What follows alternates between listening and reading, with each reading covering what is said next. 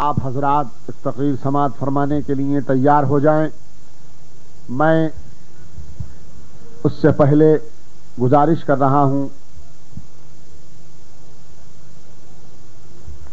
आप तमाम हजरात से गुजारिश है कि आप यहाँ तशरीफ़ रखें। हुजूर गाजी मिल्लत तशरीफ़ ला रहे हैं और हम और आप सब मिलकर हुजूर गाजी मिल्लत का नारे तकबीर से इस्तकबाल कर लें। नारे तकबीर नारा रिसालत नारा रिसालत। हुजूर गाजी मिल्लत गाजी मिल्लत हुजूर गाजी मिल्लत। शहजाद मुहदस आज़म शहजाद हुजूर मुहदस आज़म। जिंदाबाद जिंदाबाद। आप हजरा सब तशरीफ़ नारा लगाओ। अब आप लगाइए। नीचे करो।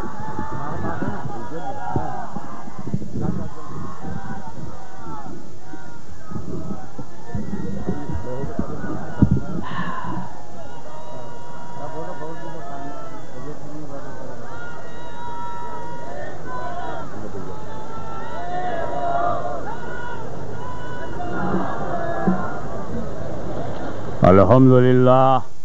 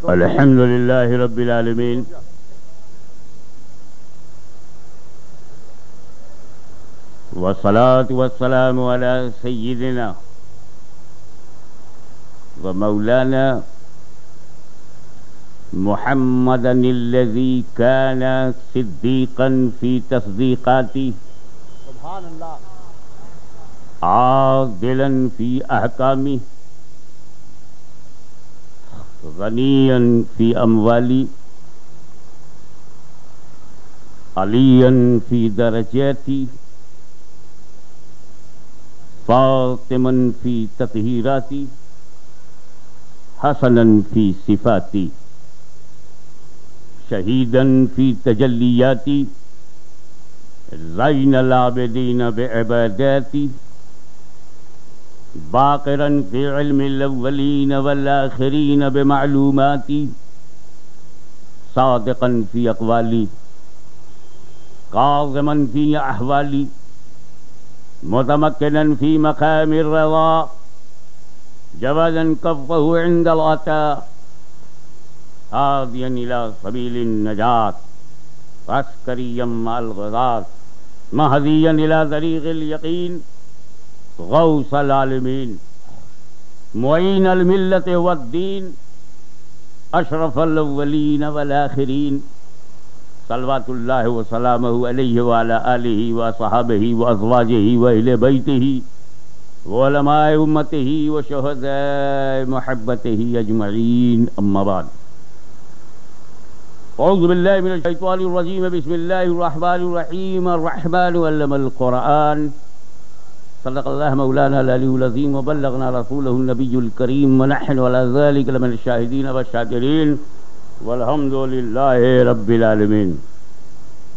बारगाह रसालत में दरूद पाक का हदिया पेश करें अल्लाह सैदना मौलाना मोहम्मद व अली सैदना मौलाना मोहम्मद वबारक वसलम रसूल और आले रसूल पर एक मरतबा और हदिय दरूद अल्लाह सैदना जद्दिल हसन वल हुसैन वाला सैदना जद्दिल हसन वल हुसैन नबी और आले नबी पर एक मरतबा और बाबा से बुलान सल्लल्लाहु अलैहि नबी उम्मी वाले ही सल्लल्लाहु अलैहि वसल्लम।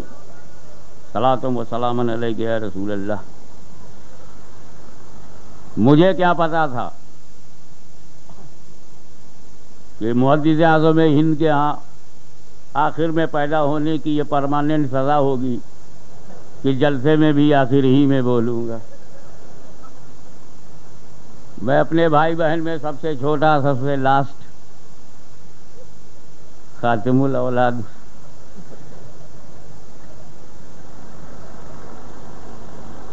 लेकिन ठीक ही है, जो दुनिया में पहले आया, वही पहले बोले। शेखुल इस्लाम पहले आए, पहले बोल के चले गए। मैं दुनिया में बाद में आया, अब चांस मिला है। जब रात बुढ़ी हो गई तब मैं पकड़ के लाया गया। जब जवान थी तो अल्लामा मौलाना सैयद तनवीर हाशवी अलवर रायपुरी अतहर राम, रामपुरी और अलवर रायपुरी। अब देखो ना घड़ी दो बीस मगरिब के वक्त रात पैदा होती है। ऐसा तक जवान होती है, ग्यारह बजे तक अधेड़ हो जाती है, एक बजे बूढ़ी हो जाती है, दो बजे तो ज़रूरी पड़ जाती है। अब पेट में आंत नहीं, मुँह में दांत नहीं, ऐसी बुढ़िया रात। मुझको चुना गया। इस बुढ़िया के लिए मैं ही शूट कर रहा था।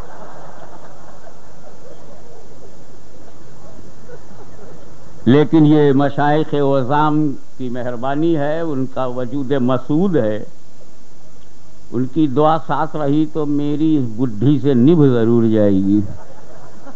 हम लोग बहुत ही गैरतदार ख़ानदान वाले हैं, निभा ही लेंगे।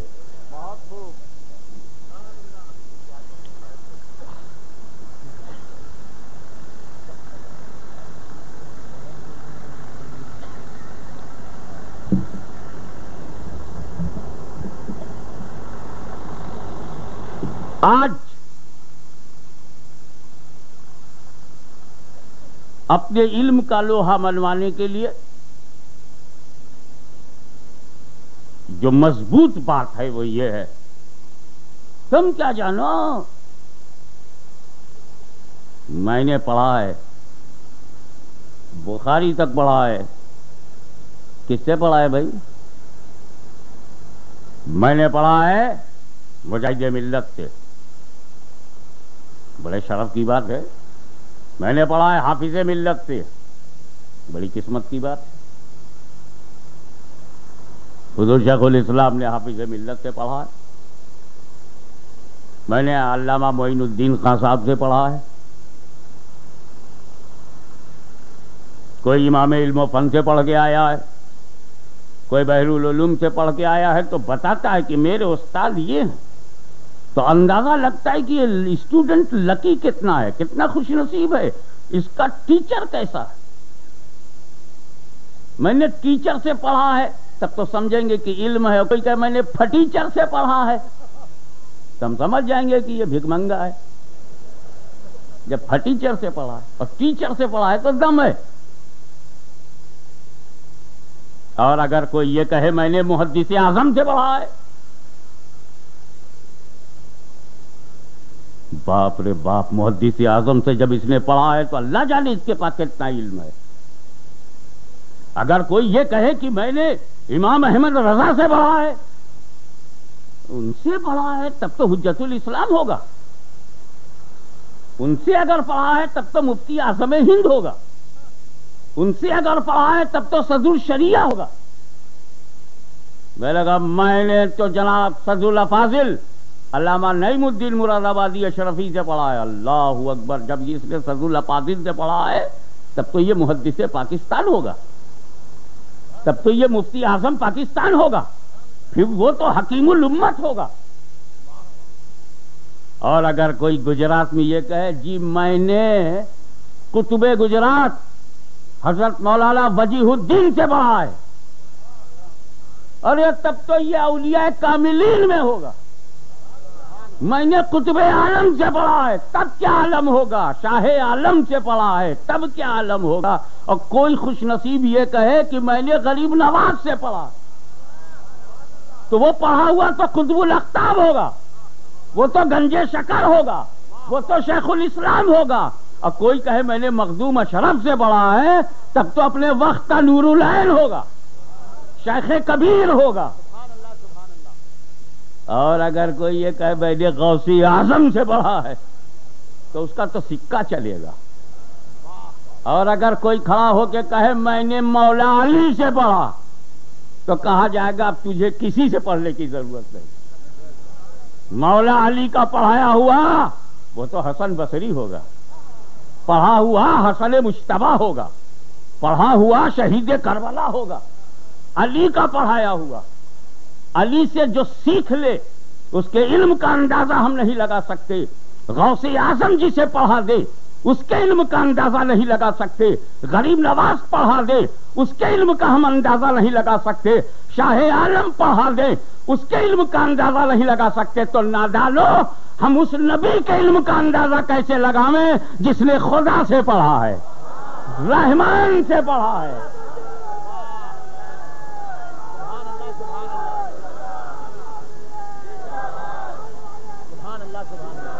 और रहमान रहमान वो है अल्लमल कुरान जिसने अपने महबूब को कुरान पढ़ाया। तो मेरे नबी ने मुल्ला से नहीं पढ़ा, अल्लाह से पढ़ा है। और जिस पढ़ाने का भी अजीब है, जैसे हम कहते हैं, हमने पढ़ा तो हम पूछते हैं क्या क्या पढ़ा? एक स्टूडेंट आया मेरे पास तो मैं, तुमने क्या क्या पढ़ा? पैदा हुए थे तो कुछ भी नहीं जानते थे। क्या क्या पढ़ा? आपने कहा, मैं साइंस का स्टूडेंट हूँ। मैंने कुछ फिजिक्स पढ़ा है केमिस्ट्री पढ़ा है जोलॉजी पढ़ा है बॉटनी पढ़ा है। और मैथमेटिक्स में अरेथमेटिक पढ़ा है एल्जेबरा पढ़ा है ज्योमेट्री पढ़ा है। हिंदी नहीं पढ़ा। किसी ने कहा, हमने हिंदी पढ़ा है, भूगोल पढ़ा है, इतिहास पढ़ा है, तर्कशास्त्र नहीं पढ़ा। आपको छह सब्जेक्ट लेने तो सैकड़ों नहीं पढ़ा, छह सब्जेक्ट पढ़ा है। सैकड़ों नहीं पढ़ा, दस ग्यारह सब्जेक्ट हमने पढ़ा है। ये नबी, आपको जो अल्लाह ने पढ़ाया है, वो क्या क्या है? सब्जेक्ट क्या है? किस विषय में आपने विद्या ली है? आपका विषय क्या है? तो क्योंकि जब आदमी जन्म लेता है तो उसको ज्ञान किसी चीज़ का नहीं होता। वो जब आगे बढ़ता है, सीखता है, पढ़ता है, क्लास अटेंड करता है, टीचर या ट्यूटर के पास जाता है, वो पढ़ाता है, तब उसको ज्ञान राशि का संचित कोष उसको हाथ में आता है। तब वो विद्वान होता है।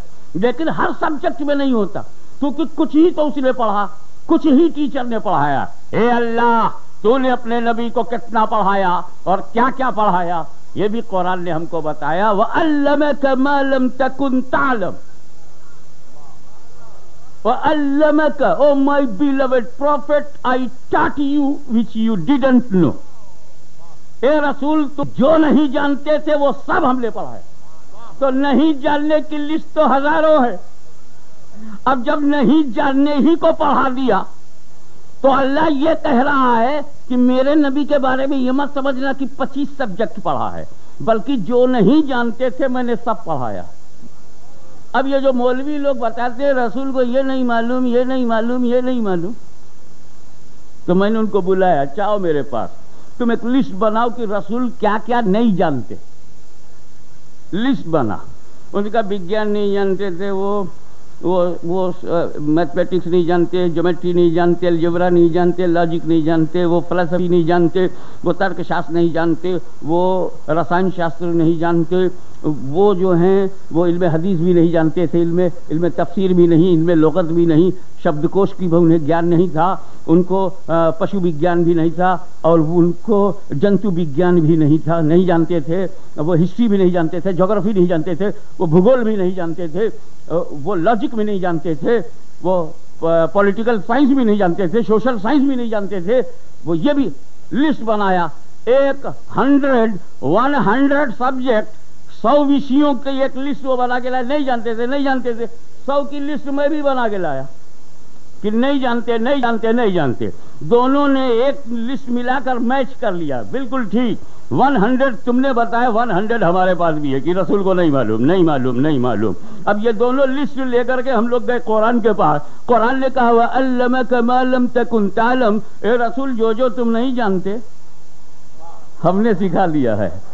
हमने सिखा लिया है। जब मैंने ये देखा कि अल्लाह ये कह रहा है कि जो नहीं जानते वो मैंने सब बता दिया मैंने अपनी लिस्ट फाड़ दिया कि अब रखने से क्या फ़ायदा जब अल्लाह ने सिखा दिया है? उसने क्या किया? लिस्ट नहीं पाया, कलम निकाला, कुछ काटा, कुछ छोड़ दिया, कुछ काटा, कुछ छोड़ दिया। मैंने कहा, पूरी क्यों नहीं फाड़ते? काटते भी हो छोड़ते भी हो, कहा ऐसा है। अल्लाह ने जब सब सिखा दिया तो थोड़ा सा उसके लिए काट देता हूँ और कुछ छोड़ देता हूँ। मैंने क्यों? कहा, कुछ अल्लाह के कहने पर करूँगा, कुछ जमात के मुल्ला के कहने पे करूँगा। देख रहे हैं आप वो दोनों तरफ़ फंसा हुआ है, अल्लाह वाला नहीं है। और रहमान अल्लमल कुरान रहमान ने नबी को कुरान सिखाया, बताया, पढ़ाया। ये ये कुरान भी अजीब गरीब किताब जनाब तमाम किताबों में अफजल है, क्योंकि जो तमाम रसूलों में अफजल है, उस पर नाजिल है। लेने वाला भी अफजल, आने वाला भी अफजल, आने वाली है किताब। यह कुरान सारी किताबों से अफजल है कि नहीं? वो तवरेत जो हज़रत मूसा के हाथ में है, वो जुबूर जो हज़रत दाऊद के हाथ में है, वो इंजील जो हज़रत ईसा के हाथ में है, इन तीनों से कुरान अफजल है कि नहीं? मगर यहाँ एक सवाल पैदा होता है।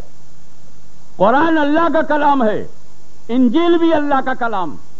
तौरेत भी अल्लाह का कलाम, जुबूर भी अल्लाह का कलाम। तो अल्लाह का कलाम अल्लाह के कलाम से कैसे बढ़ाओ? अगर आपको तुलना करनी है तो दो अलग अलग में तुलनात्मक अध्ययन होता है। कंपेरिजन, हाशमी की तकरीर हाशमी की तकरीर से छोटी कैसे होगी? अगर मेरी तकरीर को छोटा कहना है तो मुकाबले में दूसरी जात लाओ, कि मुहदस आज़म की तकरीर से हाशमी की तकरीर छोटी है। शेखुल इस्लाम की तकरीर से हाशमी की तकरीर छोटी है। ये कैसे सही होगा कि हाशमी की तकरीर, हाशमी की तकरीर से छोटी है? जब दोनों मेरी ही है तो छोटी बड़ी कैसे होगी? जब चारों किताब अल्लाह ही का कलाम है तो छोटा बड़ा कैसे होगा? अल्लाह का कलाम बंदे के कलाम से अफजल होगा। अल्लाह का कलाम नबी और रसूल के कलाम से अफजल होगा। मगर अल्लाह का कलाम अल्लाह के कलाम से अफजल। ये कहने का कौन सा अंदाज है? जबकि सारी चारों किताबें और बकिया किताबें भी अल्लाह की हैं तो उसमें कुरान अफजल कैसे हुआ? तो मैं जवाब दूँगा, ये बात तब तक नहीं समझोगे, जब तक तुम लेने वालों को नहीं देखोगे। ये फ़र्क देने वाले की बुनियाद पर नहीं है, ये फ़र्क लेने वाले की बुनियाद पर है कि जब जुबुर नाजिल हुई तो उसे लिया दाऊद खलीफतुल्लाह ने, तौरेत नाजिल हुई तो उसे लिया मूसा कलीमुल्लाह ने, और जब इंजील नाजिल हुई तो उसे लिया ईसा रूहुल्लाह ने, और जब कुरान नाजिल हुआ तो उसे लिया मोहम्मद रसूलुल्लाह ने। तो ए रसूल, तुम इतने लाजवाब हो, ए नबी, तुम इतने बेमिसाल हो, कि जो तुम पे नाजिल हो जाए, वो भी बेमिसाल है। वो भी लाजवाब कुरान की शान देखो ना। आप कुरान को याद कर लो सब कुछ कर लो सीने में महफूज कर लो। लेकिन कुरान को आप अहमदाबादी नहीं कह सकते। कुरान अहमदाबादी है। कुरान कर, करजनी होगा। कुरान को तुम नागपुरी कहोगे। ये कुरान मेमदाबादी होगा। या कुरान अजमेरी और बगदादी कहोगे? कुरान को किछोछवी कहोगे? कुरान की आयतों को बरेलवी कहोगे? जब कुरान की आयतें अजमेरी नहीं किछोछवी नहीं बरेलवी नहीं तो सहारनपुरी कैसे हो जाएँगी? नहीं! किचौछवी वो है जो किचौछा में पैदा हो। अहमदाबादी वो है जो अहमदाबाद में पैदा हो। गुजरात वो है जो गुजरात में पैदा हो। बरेलवी वो है जो बरेली में पैदा हो। सहारनपुरी वो है जो सहारनपुर में पैदा हो। कुरान पैदा नहीं हुआ। अल्लाह का कलाम है। कुरान मखलूक नहीं है। कुरान पैदा नहीं हुआ है। इसीलिए उसकी आयतों को शहर की तरफ़ मंसूब नहीं करेंगे जब पैदा नहीं तो जन्मभूमि नहीं। जब कुरान की जन्मभूमि नहीं तो फिर भूमि की तरफ़ उसकी निस्बत भी नहीं। तो कुरान को किसी शहर की तरफ़, जैसे हम पैदा हुए अहमदाबाद में तो अहमदाबादी हैं हम बंगाल में पैदा हो तो बंगाली हैं बिहार में पैदा हो तो बिहारी हैं मद्रास में पैदा हो तो मद्रासी हैं इसी तरह गुजरात में पैदा हो तो गुजराती है ना? कुरान तो चूँकि पैदा हुआ नहीं, इसलिए कुरान न गुजराती है, न बंगाली है, न बिहारी है, न मद्रासी है। सही बात है ना? कुरान की आयत को किसी शहर की तरफ़ मंसूब? बताओ भाई, पीछे वाले बोलो, मंसूब करोगे? अगर नहीं तो मुझे बताओ कि फिर तुमने कुरान की कुछ आयतों को, आयात मक्की क्यों कहा? कुछ आयतों को, आयात मदनी क्यों कहा? जब अल्लाह मक्की मदनी नहीं है तो उसका कलाम मक्की मदनी कैसे हो गया? जवाब मिलेगा, नादान, ये बात तूने समझा नहीं। कुरान ये बताना चाहता है कि कुरान का रसूल से इतना गहरा ताल्लुक है कि जब रसूल मक्की होंगे, आयतें मक्की हो जाएँगी। जब रसूल मदनी होंगे, आयतें मदनी हो जाएँगी।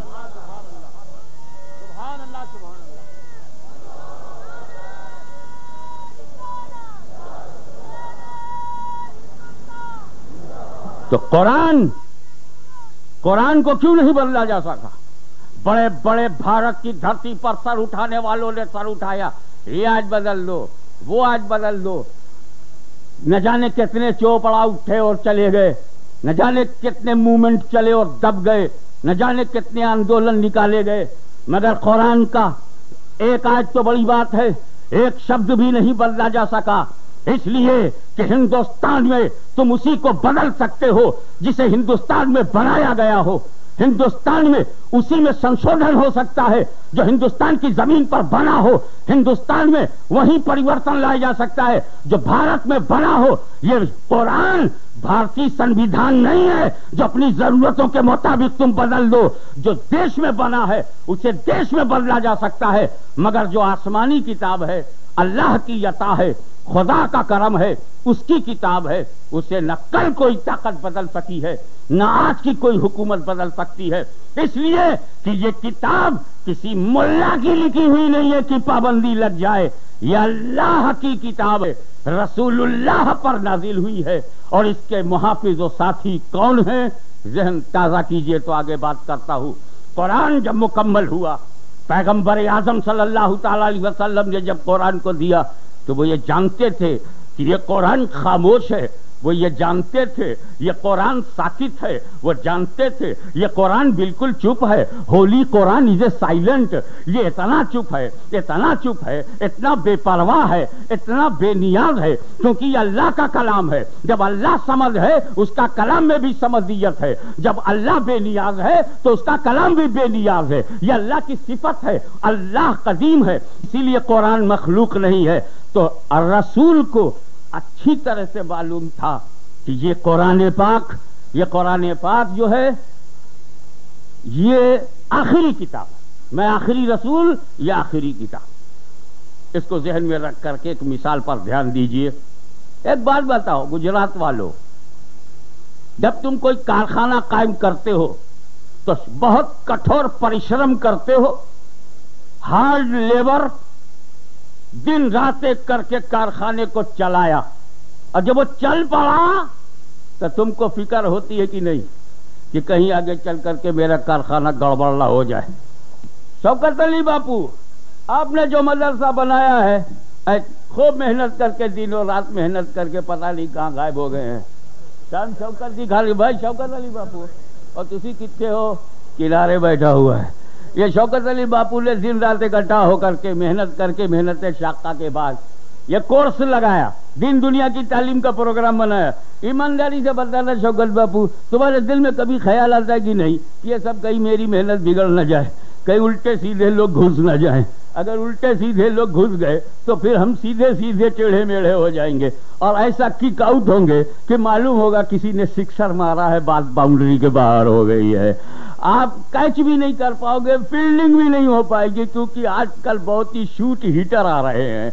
अब ऐसी सूरत में दिल में दगदगा होता है, तुम कॉलेज बनाओ, मेहनत करके बना डाला, फिर दिल में एक धक धक धक धक ये करता है कि कहीं मेरा बनाया हुआ कॉलेज बर्बाद ना हो जाए। जब तुम कोई कारोबार शुरू करते हो और कारोबार तरक्की कर जाता है तो दिल में डर समा जाता है कि कहीं ये बर्बाद ना हो जाए। जब तुम एक जमात बनाते हो और दस साल की मेहनत के बाद जमात जमात बन जाती है तो एक दिल में डर होता है कि कहीं जमात टूट ना जाए, कहीं इसमें झगड़ा ना हो जाए, कहीं बंबई की बोली में लफड़ा ना हो जाए और लफड़ा कहीं बहुत तगड़ा ना हो जाए। एक डर सा लगा रहता है। हमने ये कब, हमने ये कॉन्फ्रेंस किया है, हज़ारों लोग और लाखों के करीब लोग आ गए। अब हमें ये डर लगा हुआ है कि कहीं हमारा दिया हुआ मैसेज भूल ना जाए, कहीं हट ना जाए। मेरे दोस्तों, मकान बनाओ तो बचाने की फ़िक्र, कारखाना बनाओ तो बचाने की फ़िक्र मदरसा बनाओ तो बचाने की फ़िक्र, मुरीद बनाओ तो बचाने की फ़िक्र, इस्लाम फैलाओ तो बचाने की फ़िक्र है, मुसलमान बनाओ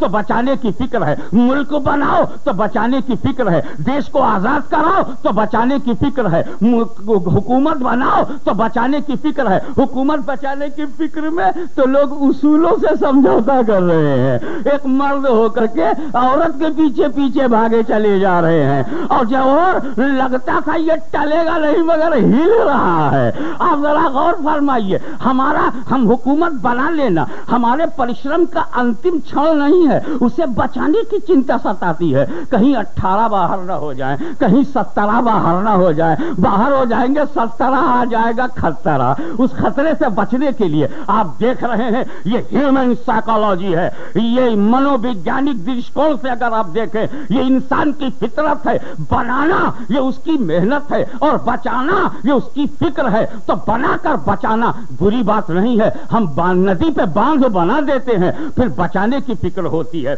हम हम इलेक्ट्रिसिटी बना देते हैं, फिर बचाने की फ़िक्र होती है। हम बहुत ढेर सब रुपया कमा लेते हैं, फिर बचाने की फ़िक्र होती है। अरे जब ये ह्यूमन साइकोलॉजी है तो यकीनन जब रसूल ने उम्मत बनाया होगा, अपनी जमात बनाया होगा मक्के मदीने में हुकूमत बनाई होगी तो उन्हें भी ये फ़िक्र रही होगी। मेरे उम्मती कहीं गुमराह ना हो जाए, कहीं ये रास्ते से हट ना जाए, कहीं ये बेराह रवि में न चले जाए। ये रसूल पाक को भी ये फ़िक्र थी। मैंने कुरान समझा तो दिया है, कहीं गुमराह ना हो जाए। मैंने नमाजें तो पढ़ाना सिखा दिया है, कहीं गुमराह ना हो जाए। रोजा रखना सिखा दिया है, कहीं गुमराह ना हो जाए। हज करने का तरीका बता दिया है, कहीं गुमराह ना हो जाए। ये फ़िक्र रसूल को थी और इसी फ़िक्र का नतीजा है कि पैगंबर ने अपनी उम्मत को बचाने के लिए ये ऐलान कर दिया, ए लोगों, कान खोल करके सुन लो, मैं तुम में दो भारी चीज़ें छोड़ रहा हूँ।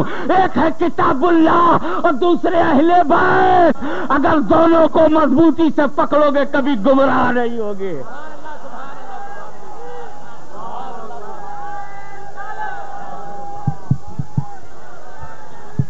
नारे तकबीर, नारे रिसालत हुजूर गाजिए मिल्लत। सकलन। मैं तुम में दो भारी चीज़ें छोड़ रहा हूँ। कुरान और अहले बैत दोनों को मजबूती से पकड़ोगे? हरगिज हरगिज गुमराह नहीं होगे। मैं बात बोलता हूँ। मेरे नबी ने मुझसे कहा नमाज़ पढ़ो। कुरान ने कहा नमाज़ कायम करो। वो भी कोई मुसलमान है जो नमाज़ न पढ़े। कितनी शर्म की बात है कि तुम्हारे सजदे तुम्हारे खुदा के सामने नहीं झुकते। अरे तो दूसरों के आगे झुकाना होगा। झुक जा अपने मालिक के। झुक जा रब के सामने। झुकेगा रब के सामने। सबसे छुट्टी मिल जाएगी। वो एक सजदा जिसे तू गरा समझता है। हज़ारों सजदों से देता है आदमी को नजात। अरे अपने बनाने वाले के आगे झुक। बनने वालों के आगे तो करोड़ों झुक रहे हैं। रचयिता के आगे झुक। रचनाओं के पीछे तो बहुत से लोग पड़े हैं। लेकिन याद रख, नबी ने बेहतरीन चीज़ जो दिया है वो नमाज़ है। लेकिन कहीं नहीं कहा, नमाज़ पढ़ोगे तो गुमराह नहीं होगे। बेहतरीन इबादत है रोजा। मगर ये नहीं कहा रोजा रखोगे तो गुमराह नहीं होगे। कितने नमाजी गुमराह हैं। बाकायदा जमात बनाए हुए। चालीस चालीस दिन तक माँ बाप का ख्याल नहीं करते। माँ बाप बूढ़ी बूढ़े माँ बाप तड़प रहे हैं। बीवी इंतज़ार कर रही है।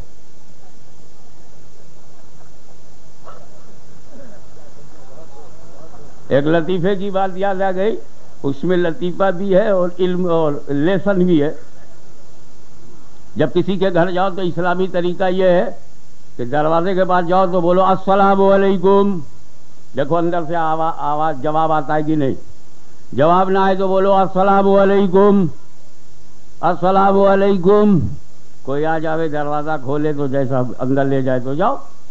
अस्सलाम वालेकुम कहकर ये this is the Islamic method to knock the door दरवाज़ा खटखटाने के बजाय बोलो, अस्सलाम वालेकुम ये तो जब मकान में कोई हो, और अगर ऐसे मकान में जाओ जहाँ अंदर कोई नहीं है, तब कहो, अस्सलाम वालेकुम नबी. क्योंकि जिस मकान में सुन्नी नहीं होता, उसमें नबी आते हैं। नबी आते हैं। तो सुन्नियों को तो इतमान है ना? वो चाहे छह महीने के लिए बाहर चला जाए घर में नबी तो हैं। लेकिन जो लोग घर में नबी को नहीं मानते, वो चालीस दिन किसके भरोसे पे छोड़ते हैं? अल्लाह करे मोहल्ले वाले अच्छे हो।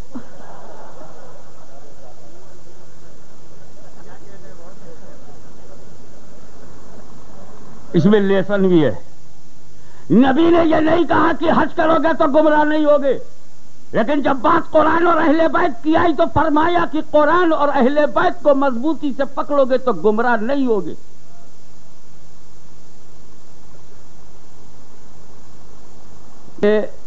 तरक तो सकलाइन The important word which is used by beloved prophet.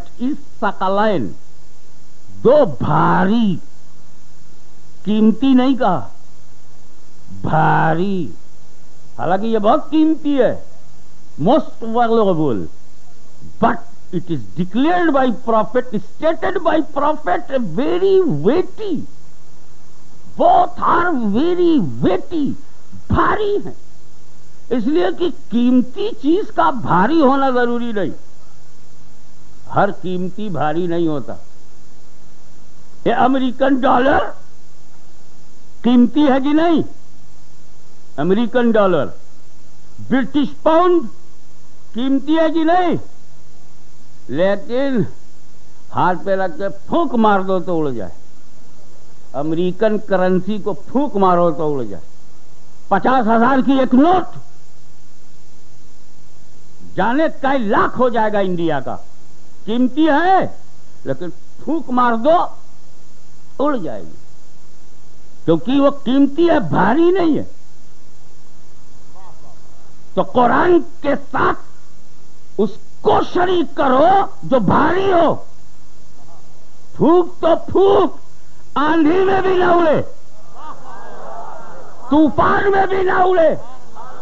तो ये भारत की आंधियों ये उत्तर प्रदेश से कर्नाटक तक के तूफानों ये सिंध से लेकर हिंद तक बहने वाली हवाओं तुम दुनिया के दूसरे खानदानों का चराग बुझा सकते हो, मगर अहले बैत के चराग को बुझाया नहीं जा सकता।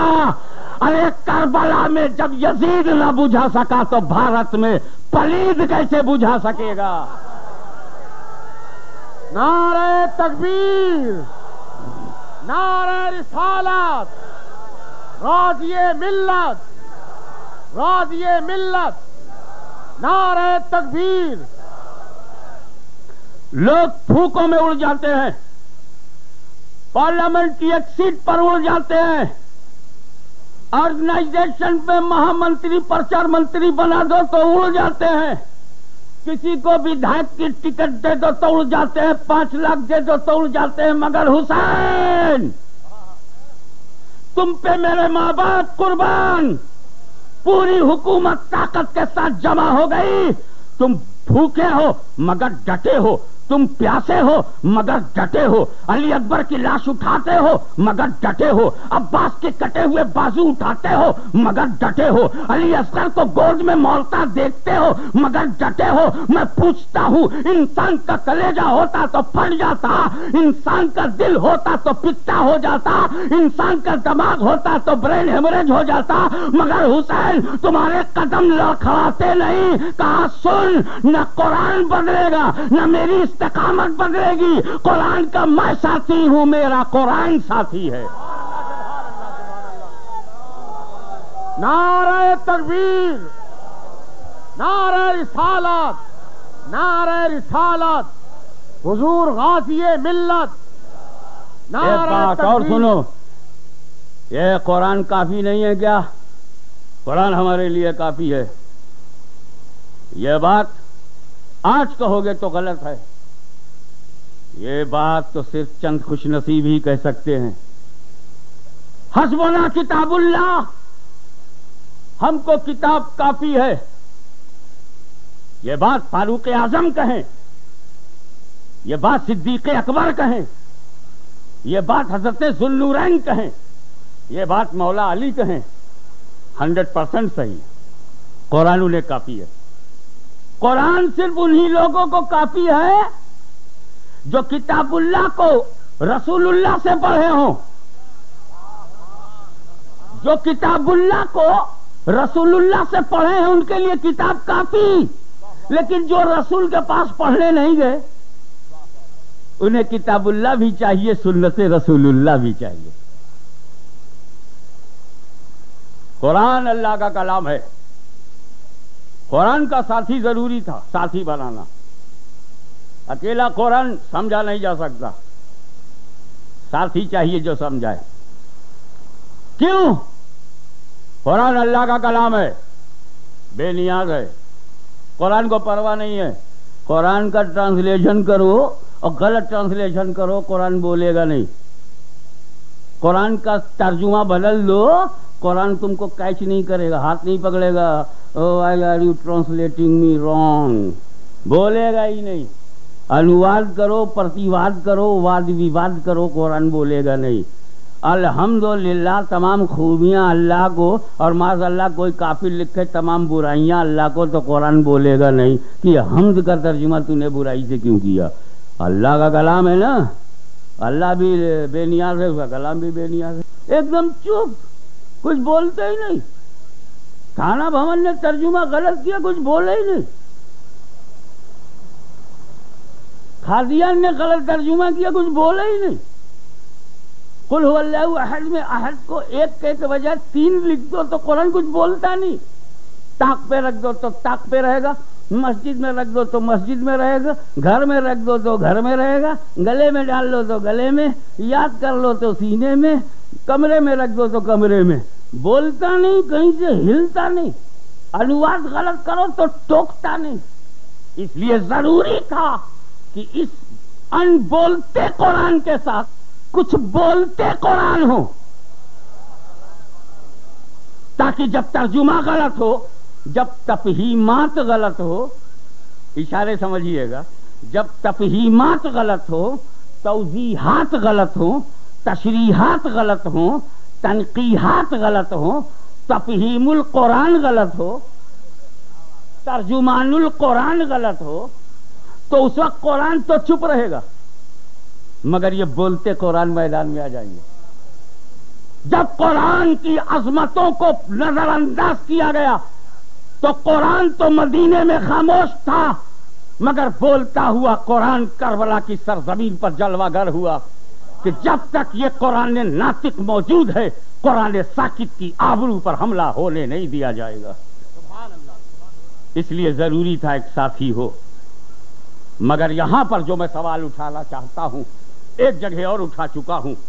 मौके महल के एतबार से यह सवाल मैं फाजिल नौजवान सैयद तनवीर हाशमी को नज़र करना चाहता हूँ। बेशक कुरान को साथी चाहिए था, मगर साथी साहब कराम को बना दिया जाता तो क्या हरज था? बेहतरीन जमात है साहबा। बेमिसाल जमात है सहाबा। लाजवाब जमात है साहबा। चश्मे फलक ने जमाते सहाबा से बेहतर जमात देखा नहीं। असहाबी का नजूम बेही में तुम मेरे सहाबा नजूम हिदायत हैं। They are stars of guidance वो सितारे हैं। पीछे चलोगे, हिदायत पाओगे, वो साहबा जो जो कन्नुजूम वो साहबा जो कुल्लुहुम उदूल मेरे नबी ने हमसे कहा तदुबिद्दीन में बादी अबू बकरो उमर। तुम मेरे बाद दीन में अबू बकरो उमर की पैरवी करो। मगर ये नहीं कहा कि कुरान का साथी नहीं बनाया। हमें पैरवी के लिए कहा, अलैकुम बे सुन्नति वो सुन्नत खलफाई राशिदीन महदीन खलफाए राशिदीन की सुन्नत पर और मेरी सुन्नत पर अमल करो। सुन्नत पर अमल करने को कहा। कुरान का साथी नहीं बनाया। अल्लाह अल्लाह पी सहाबी, शान सहाबा में एहतियात की बात ज़रूर की, मगर कुरान का साथी नहीं बनाया। खुदा की कसम साहब कराम जो सदाकत का मीनारा हो, अदालत का बहरे बेकरा हो, सखावत का समंदर हो, शुजात का पहाड़ हो, उसको क्यों नहीं बनाया गया? खालिद सैफुल्ला को देखो, साद सईद को देखो, तलहा जुबैर को देखो, ज़मीन पर रहकर जन्नती की सनद लेने वाले दस साहबा को देखो। क्या जवाब मिलेगा तुमको अशरब बशरा का? कहाँ से जवाब लाओगे मुहाजिरीन अंसार का? लेकिन मेरे रसूल ने, कुरान का साथी सहाबा को नहीं बनाया, जबकि सहाबा की अजमत पर हाशमी कुर्बान, अजमत तो बड़ी बात है, एक सहाबी की नालैन पर हाशमी कुर्बान, नालैन भी बड़ी बात है, और एक सहाबी के जूते के नीचे की धूल धूल का एक जर्रा अगर हाशमी के दामन से लग जाए तो मेरी नजात हो जाए। ये मुकाम है सहाबी का, ये अजमतें है सहाबी की, तारीख गवाह है कि सहाबा की जमात से बेहतर जमात चश्मे फलक ने आसमान की आँखों ने देखा नहीं। वो सहाबा जिन्होंने जिन्होंने अपनी बलिदान कुर्बानियों से इस्लाम को फैलाया, वो सहाबा जिनके नाम से काफिर का कलेजा हिल जाए, वो सहाबा। अरे जिसने रोमा की ज़मीन को नारे तकबीर की गूंज में आबाद कर दिया, वो साहबा। जिसने किसरा के खरूर को तोड़ा जिसने यूनान के फलासफा को तोड़ा, जिसने कैसर रूम की बुनियादें हिला दी, जिसने जंगलों में आबादियाँ कर दी, वो सहाबा जिन्होंने बेवाओं को सुहागन बना दिया, वो सहाबा जो यतीमों का सहारा बन गए, वो सहाबा जिन्होंने दरिया की छाती को घोड़ों की टाप से रौंदा, वो सहाबा दस्तो दस्त दरिया भी न छोड़े, वो सहाबा पहले जुल्मात में दौड़ा दिए घोड़े, वो सहाबा मिस्र में जिसने झंडा लहराया, वो सहाबा अंताकिया पर जिसने हमला किया, वो सहाबा ईरान में इस्लाम जिसने फैलाया, वो सहाबा पूरे अरब को इस्लाम के दामन में डाल दिया, वो सहाबा, और अगर एक खत लिख दे, और वो खत दरिया नील में डाल दिया जाए तो मौजों का मिजाज बदल जाए। वो सहाबा जिन्होंने बहरिया बेड़ा ईजाद किया, वो सहाबा जिन्होंने अदलिया का निज़ाम किया, वो सहाबा जिन्होंने एडमिनिस्ट्रेशन किया, वो सहाबा जिन्होंने साबित किया this is the government of prophet this is the government of prophet by the prophet for the whole mankind जिन्होंने साबित किया, ये हुकूमत मुस्तफ़ा की है, मुस्तफ़ा से बनी है, और इंसानों के लिए बनी है। वो सहाबा जिन्होंने असले इस्लामी जमहूरिया का नफाज किया खिलाफत राशिदा में अपना लहू शामिल किया, वो सहाबा जिनके तस्वुर से काफिर का कलेजा आज भी दहल जाता है। वो सहाबा कुरान का साथी क्यों नहीं? जमाते साहबा को कुरान का साथी क्यों नहीं बनाया गया? वजह सुनो। ये मेरे नबी का इल्म गैब है। ये मेरे नबी का इल्म गैब है। नबी को मालूम है कि सहाबी बनाना नबी का काम है। हुई सहाबी? व्हाट इज़ डिफिनीशन ऑफ़ सहाबी? ये सहाबी की परिभाषा क्या है? अबे सहाबी उस आदमी को कहते हैं जिसने आँखों से नबी को देखा और इस्लाम पे मरा। Death upon Islam and he saw the prophet by his own eyes जिसने रसूल को आँखों से देखा और इस्लाम के साथ दुनिया से गया वो साहबी। अबू जहल ने देखा, इस्लाम पे मरा नहीं, साहबी नहीं। और वैसे करनी मौत अल इस्लाम पर गए रसूल को देखा नहीं, वो भी साहबी नहीं। बस हर आदमी साहबी है। बस दो बात होना चाहिए। इस्लाम पर मौत मिल जाए और नबी को आँखों से देखा हो, साहबी। तो जब नबी को देखेगा, तब ना साहबी बनेगा। जब नबी को देखेगा, तब ना साहबी बनेगा। कब तक नबी को देखेगा? जब तक नबी रहेंगे, तभी तक तो देखेगा। तो नबी को तो मालूम है कि मैं एक दिन पर्दा करूँगा। और जब मैं पर्दा कर लूँगा तो साहबी बनना बंद हो जाएँगे।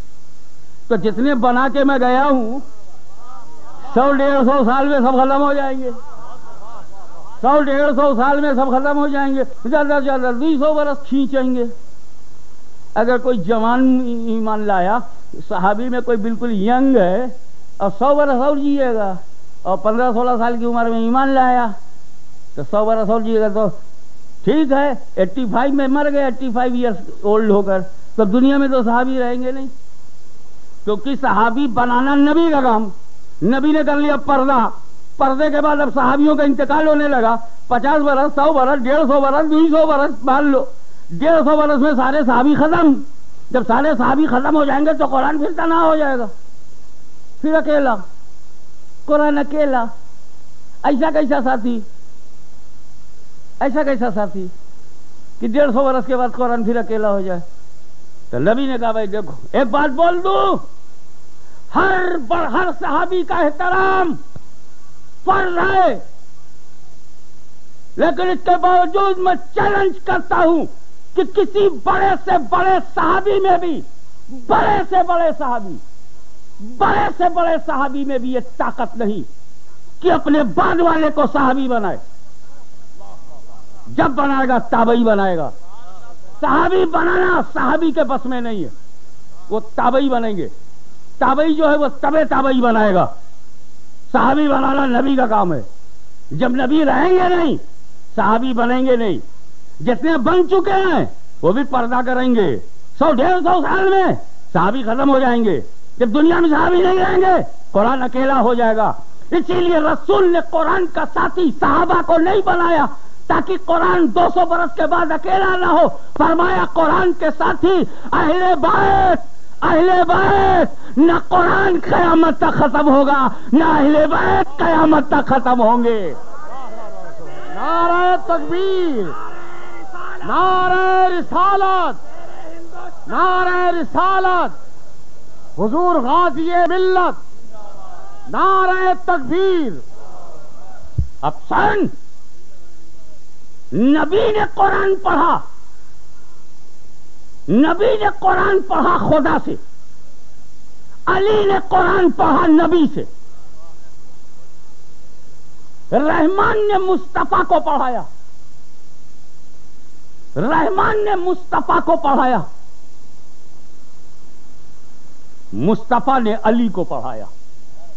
अली ने ऐसा पढ़ा ऐसा पढ़ा। क्या बोलूँ, कैसा पढ़ा? हमारे उलमाए कराम यहाँ रौनक अफरोज है। एक लम्हे के लिए तवज्जो चाहूँगा।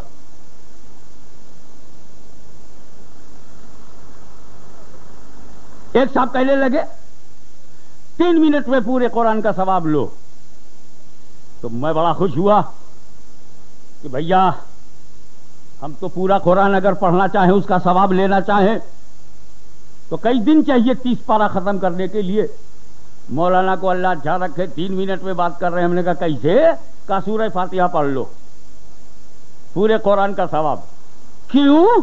सूरह फातिहा जो है, वो मुख्तसर है कुरान का। Substance of holy Quran. अगर कुरान को मुख्तसर किया जाए तो अल्हम्दुलिल्लाह से लेके वलदवालीन तक। तो उसमें एक सूफी साहब थे। उनका आशमी यहाँ इधर आओ अगर ये भी तुम्हें लंबी सूरज दिखती हो तो सुनो, इसे भी अगर मुख्तसर कर दिया जाए तो रहमानी रहीम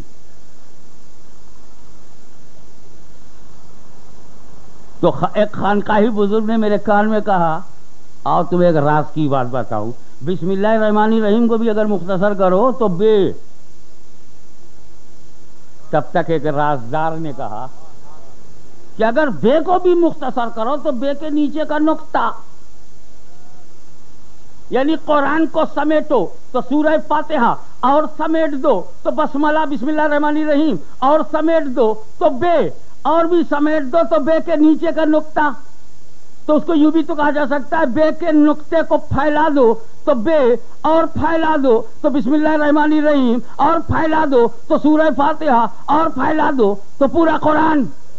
कुरान को समेट दो तो बे के नीचे का नुकता, और बे के नीचे के नुकते को फैला दो तो कुरान मौला अली, मुश्किल कुशा, खैबर शिकन, शाह जमन, आफ्ताब नबूवत की दिलकश करन अबुल हसन, अली इब्ने अबी तालिब रज़ी अल्लाह फरमाते हैं, अला नुक्ता तो तहदल वाइल बसमला, बिस्मिल्लाह के बेच के नीचे का नुक्ता मैं हूँ। अली कहते हैं वो नुकता मैं हूँ। नबी से पढ़ा है। कुछ छूटा नहीं, मैं हूँ। नुकता मैं हूँ। बस जैसे ही विद्यार्थी ने सुना, स्टूडेंट ने सुना कि नुकता है और मौला अली नुकता है, वो समझा ही नहीं। मेरे पास भागा हुआ है और भागा हुआ कर बोला कि मैं साइंस का स्टूडेंट हूँ, हज़रत। आप कहते हो पॉइंट है। ये नुक्ता क्या? आई डोंट नो नुकता। मैंने कहा, हिंदी जानता है हाँ। मैं बोला, बिंदु। बे के नीचे जो बिंदु है पॉइंट मैं कहा हाँ जो पॉइंट है।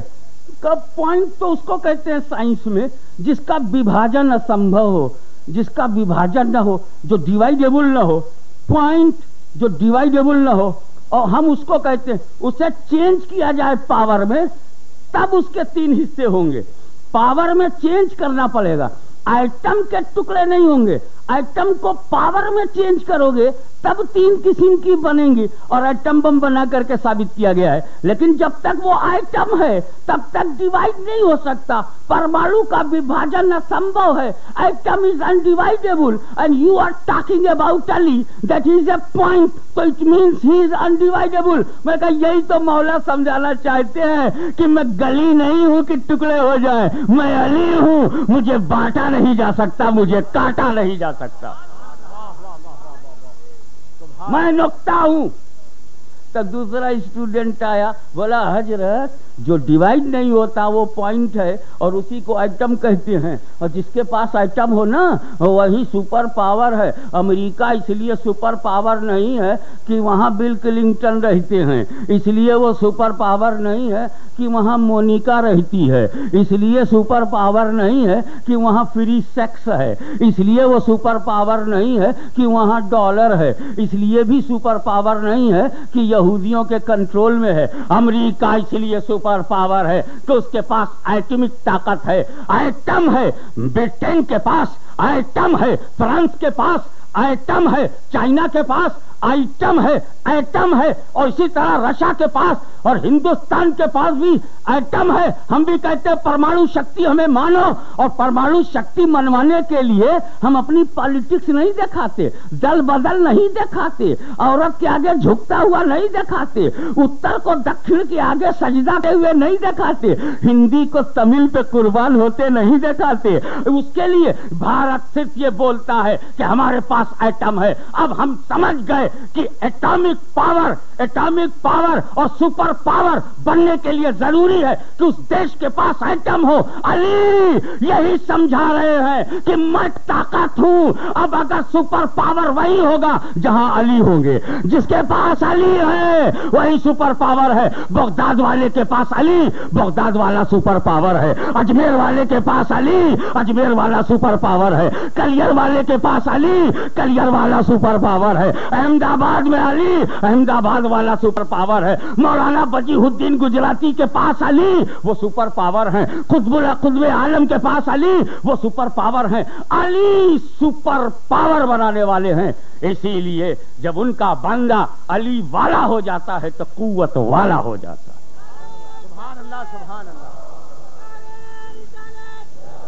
और एक भूगोल का विद्यार्थी भागा हुआ है। हज़रत ये तो साइंस वाले को तो आपने निपटा दिया। मैं ज्योग्राफी का स्टूडेंट हूँ। मेरी समझ में नहीं आता। आप क्या बोले? हज़रत अली नुकता है। कलम निकाल के उसने पॉइंट मारा। ए, हज़रत पॉइंट तो बहुत छोटा होता है। यानी बिंदु बहुत छोटा है। उंगली रख दो तो गायब हो जाए।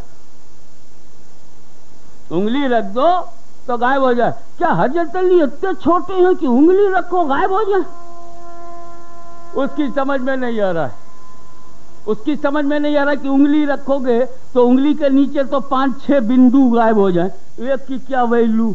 बोले, इतने छोटे अली हैं कि अपन कलम से पॉइंट बनावे और उंगली रखने में तो वो गायब हो जावे। मैंने कहा, नहीं, तेरी समझ में नहीं आ रहा एक बात बता, तू पढ़ता क्या है? बोले, मैं इंटरमीडिएट का स्टूडेंट हूँ। क्या बोलता है? भूगोल है। हाँ भूगोल मेरा सब्जेक्ट है। अच्छा तो ले आ जरा तू भारत वर्ष का मानचित्र। जब भारत वर्ष का? वो मानचित्र लेकर आया मैप ऑफ़ इंडिया मैंने कहा अच्छा रख टेबल पर। उसने मैप को टेबल में रखा। मैं कहा, बता, बंबई कहाँ है? कहा, ये है। बंबई कहाँ है? ये है ना, देखिए ना, जब ये। बम्बई कहाँ है? अरे बाबा, देखो ना। एक किनारे। बम्बई कहाँ है? बोले, बाबा, देखो ना नुकता दिखाई दे रहा है। पॉइंट है ना ये। छोटा सा पॉइंट है। ये मुंबई है। यही बम्बई है। मैं कहा, यही नुकता बम्बई है। छोटा सा पॉइंट है, ये अहमदाबाद है। ये नुकता अहमदाबाद है ये इधर समुद्र के किनारे एक नुकता है बिंदु है पॉइंट है यही पॉइंट बम्बई है कहा यही नुकता बम्बई है कहा इसी नुकते में ताजमहल होटल है इसी नुकते में गेट ऑफ़ इंडिया है कहा इसी नुकते में साबु सिद्दीक मुसाफिर खाना इसी में है ना बोले हाँ मोहम्मद अली रोड इसी में है मौलाना आज़ाद रोड इसी में है अब्दुल रहमान स्ट्रीट सारंग स्ट्रीट इसी में। अली उमर स्ट्रीट इसी में, बोला बारा इमाम रोड इसी में, बोले हाँ मदनपुरा इसी नुक्ते में, कहा भाई कल्ला इसी नुक्ते में, बोला, परेल इसी में, कहा, दादर इसी में, कहा, माहिम इसी में, कहा, सांता क्रूज एयरपोर्ट इसी में, सहारा इंटरनेशनल एयरपोर्ट का इसी में, पाँच लाख टैक्सी बोले, इसी में दस लाख कार। बोले, इसी में बीस लाख बेकार। इसी में इसी में फ़िल्म स्टूडियो। इसी में धारावी की झोपड़पट्टी। इसी में मुलुन। इसी में घाट कोपर इसी में विकराउली बम खाना बोले, इसी में हज कमेटी इसी में एक करोड़ की आबादी इसी नुकते में तो दुनियादार नुकता बना दे। दुनियादार नुकता बना दे तो करोड़ों की आबादी शामिल हो जाए। परवरदिगार जिसे नुकता बना दे, उसमें पूरा विश्व आ जाए तो कौन सी हैरत की बात है?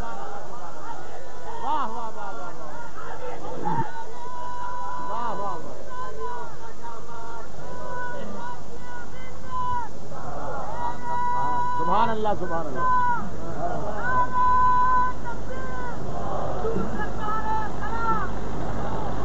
तो याद रखो, नबी के इल्म पर हमला करने वालों खुदा के पढ़ाने पर उंगली उठा रहे हो। अली के इल्म पर उंगली उठाने वालों नबी के पढ़ाने पर उंगली उठा रहे हो। ये शरीयत का इल्म अली और नबी का इल्म है। तभी मेरे नबी ने कहा, अला मदीनतुल इल्म, वो अली बाबू है। I am a town of knowledge and Ali is the gate of that knowledge Ali दरवाज़ा, नबी शहर, क्या मतलब? दरवाजे की शान यह है कि दरवाजे से दो बार गुजरना पड़ता है। किसी घर में घुस जाओ, घर में एक बार गए हो, मगर दरवाजे पे दो बार। जाते वक्त भी ताल्लुकात होंगे तो जाने देगा। और निकलते हुए भी। आप जब घर में जाते हो तो पहले दरवाज़ा, निकलते हो तो बाद में दरवाज़ा। अब अगर दरवाजे से किसी के ताल्लुकात खराब हैं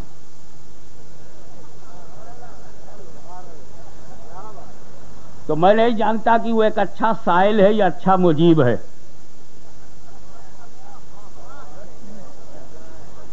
अगर साइल है तो उसको सही सवाल करना चाहिए, मुजीब है तो सही जवाब देना चाहिए। हम तो सिर्फ़ ये जानते हैं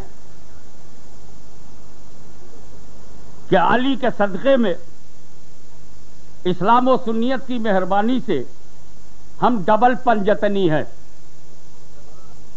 हम दूसरे फिरके की तरह सिंगल पंजतनी नहीं है। हम डबल पंजतनी है। दर वाले भी पाँच घर वाले भी पाँच। दर वाले पाँच भी बेमिसाल हैं। घर वाले पाँच भी बेमिसाल हैं। गिनो बाहर से। रसूल पाक, सिद्दीक अकबर, फारूक आज़म। उस्मान गनी, अली मुर्तजा।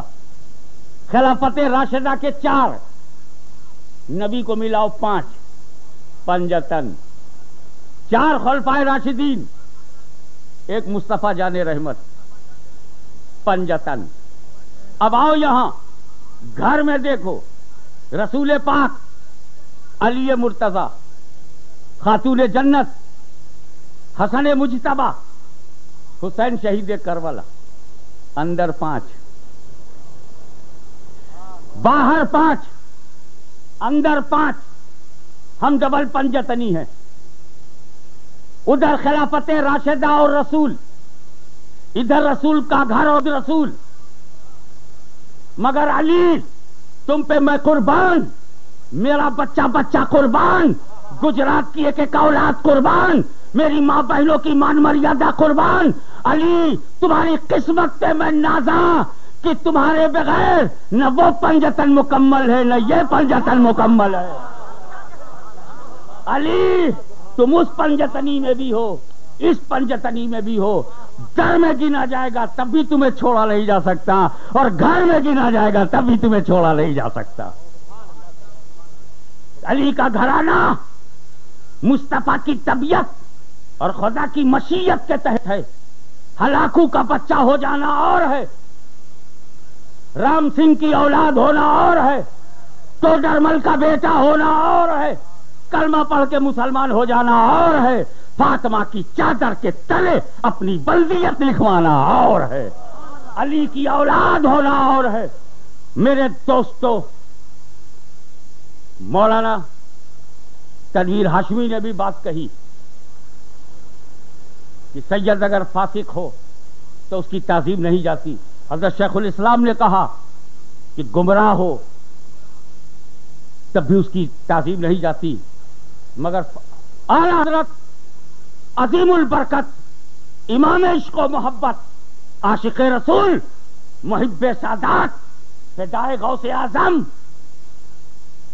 इमाम वक्त फरमाते हैं, मैं सही अल्फाज आपके सामने पेश कर रहा हूँ। उन्हीं के अल्फाज, बेलफ्ज ही बेअने ही। फताव रिजविया जिल्द ग्यारह और जिल्द बारह में ये आला हज़रत ने लिखा है। ये हकीर जलील बंदा हज़रत सादात कराम का अदना गुलाम खाके पा है। खाक कहते हैं धूल को अप्पा कहते हैं पैर को, मैं सैयदों के पैर की धूल हूँ। बारहा अपनी किताबों में छाप चुका है कि सैयद अगर बद मज़हब भी हो जाए, गुमराह नहीं। लफ्ज है, हालाँकि बद मज़हब गुमराही है, बात अलग अलग नहीं है, लेकिन वही लफ्ज कह दो ताकि टेप हो जाए कि हम लोग भी फतवा पढ़ते हैं। सैयद अगर बद मज़हब भी हो जाए तो ताजीम नहीं जाती। जब तक उसकी बदअकीदगी हद कुफ्र तक न पहुँचे। क्योंकि बाद कुफ्र सियादत खत्म हो जाती है। और जो वजह ताजीम थी जब वही नहीं है तो ताजीम हराम हो जाती है। यानी सैयद की ताजीम तुम्हें तब तक करनी है जब तक माजल्ला वो मुर्तद न हो। ये तो अहमद रजा का फतवा है। मानने वालों का क्या हाल है? तुम मुजद्दिद का फतवा मानते क्यों नहीं? सुन, हम लोग सैयद हैं। हम अहमद रजा को छोड़ने नहीं देंगे। सैयदों को ऐसा आशिक कहाँ मिलेगा? सैयदों को ऐसा गीत गाने वाला कहाँ मिलेगा? तुम मुरीद होकर छोड़ दिए। हम पीरजादे होके भी नहीं छोड़ रहे। इसलिए कि अहमद रजा बरेली के किसी पठान का नाम नहीं, तर्जमानुल कुरान का नाम है। इश्क रसूल, एहतराम सादात, इल्म फजल जमा हो, तब अहमद रजा बनता है। अबे तुम इमाम अहमद रजा को मानते क्यों नहीं? हम पे इल्ज़ाम लगाओगे? अपना गरीबान झाँक के देख। सैयद अगर बदमल हो तो बदमली की वजह से सैयद से नफरत ना करो। बदमली से नफरत करो। Hate the sin, not sinner. पाप से घृणा करो, पापी से नहीं। ये तो जर्नल लॉ है। अगर सैयद पापी हो तो पाप की वजह से आप सैयद से घृणा न करें। क्योंकि अमल खराब है तो खराब अमल को खराब समझो, कुकर्म को कुकर्म समझो बैड डीड्स को बैड डीड्स समझो। लेकिन सैयद का एहतराम आमाल की वजह से नहीं है, नबी की निस्बत के कमाल की वजह से है। उसका अमल उसे फासिक ज़रूर बनाएगा, मगर निस्बत मुस्तफ़ा की वजह से उसका एहतराम बाकी रहेगा। क्यों नहीं मानते तुम इमाम अहमद रजा की बात को? मानो भाई। और तुम मानते रहे। हुजूर मुफ्ती आज़म हिंद रहमतुल्लाह ताला तुम भी मानते थे। अब उनके इंतकाल के बाद इनकार कर रहे हो। तो क्या इंतज़ार था तुमको? कि आलिम रब्बानी जब खत्म हो जाए, तब दहकानी शुरू हो। तुमने मुफ्ती आज़म हिंद को अपने लिए भारी समझा? अरे हमने तो उसे फजले बारी समझा। हयात मुफ्ती आज़म को हमने फजले बारी समझा।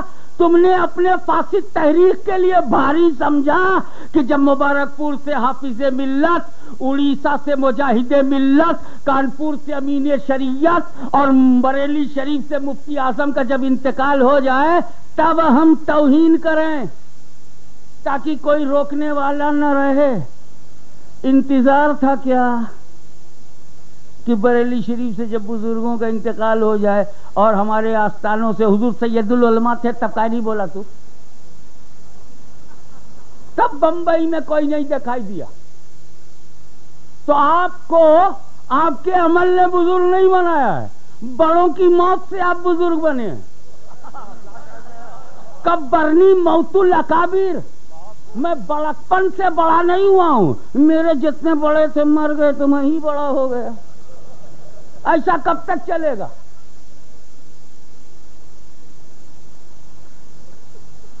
एक बात अच्छी तरह से सुन लो।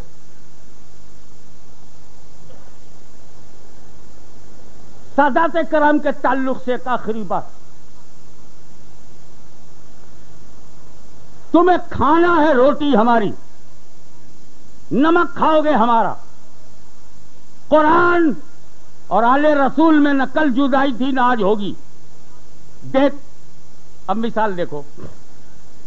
कुरान और रसूल, कुरान और अली। रसूल ने पर्दा किया, अली ने ले लिया। अली शहीद हुए, इमाम हसन ने ले लिया साथ। इमाम हसन शहीद हुए, इमाम हुसैन। इमाम हुसैन की शहादत के बाद इमाम जैनुल आबदीन। इमाम जैनुल आबदीन के बाद इमाम बाकर। इमाम बाकर के बाद इमाम जाफ़र। इमाम जाफ़र के बाद मूसा कासिम। अब आप देख रहे हैं, ता इमाम हसन अस्करी एक लम्हे के लिए भी कुरान से अहले वायत अलग नहीं हुए। इमाम हसन अस्करी के बाद गौसे आज़म। गौसे आज़म, ये दौर गौसे आज़म का है। आज हिंदुस्तान, पाकिस्तान, बांग्लादेश दुनिया में जो भी वली बनेगा, जो भी वली बनेगा, वो गौसे आज़म की इजाज़त। आज का गौसे जमाना गौसे आज़म के मातहत है। आज का खुदबुल आलम गौसे आज़म के मातहत है। आज का अब्दाल और अवताद गौसे आज़म के अंडर में है। सारे अलिया कामिलीन। कब तक?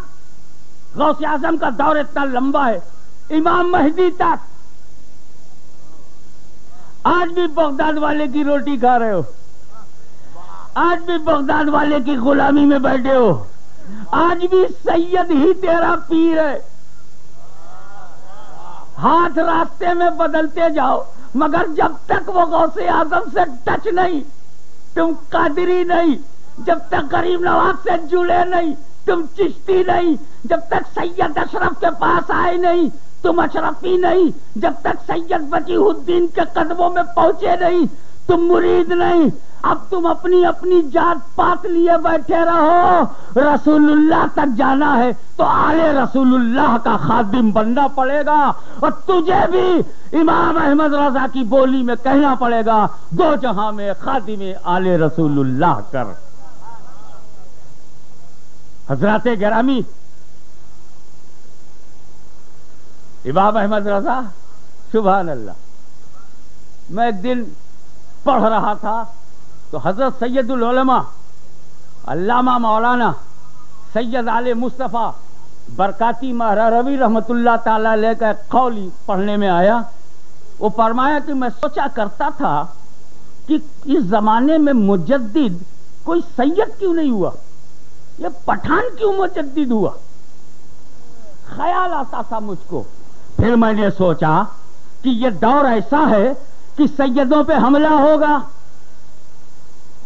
न जाने कितने काफ़ी राम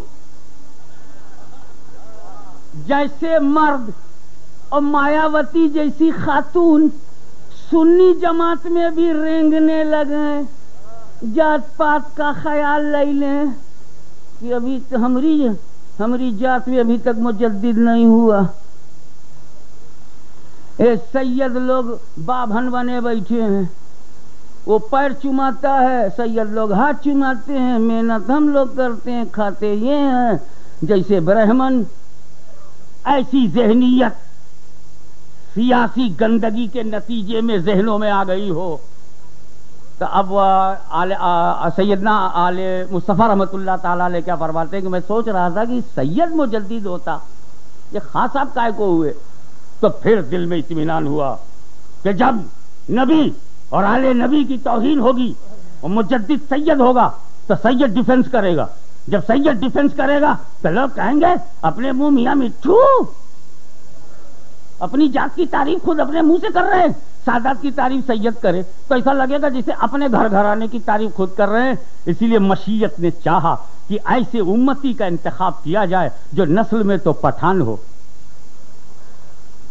मगर हकीकत में कंजुल ईमान हो।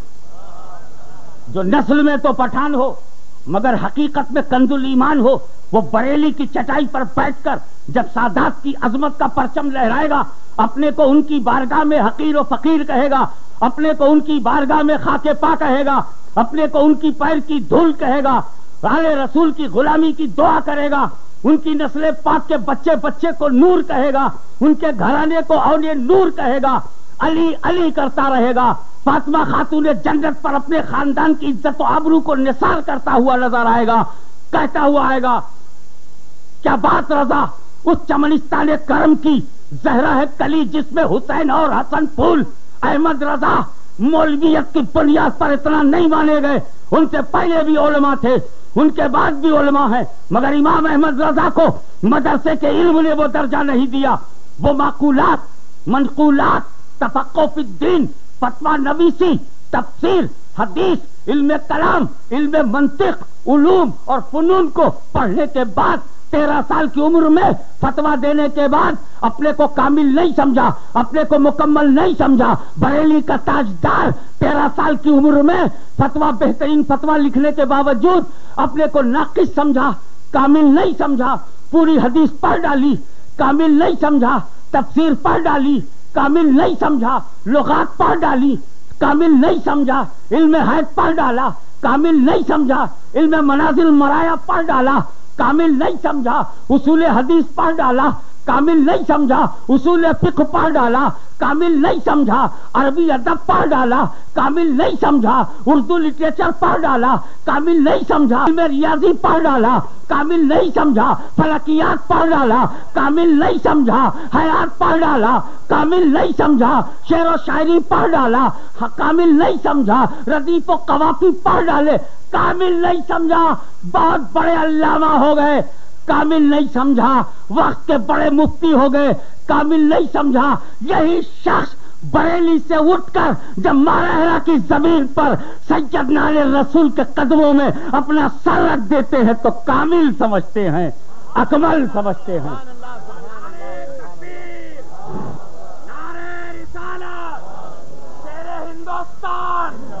याद रखो, शेखुल इस्लाम की तकरीर के उस जुमले पर मैं हाशिया चढ़ाता हूँ।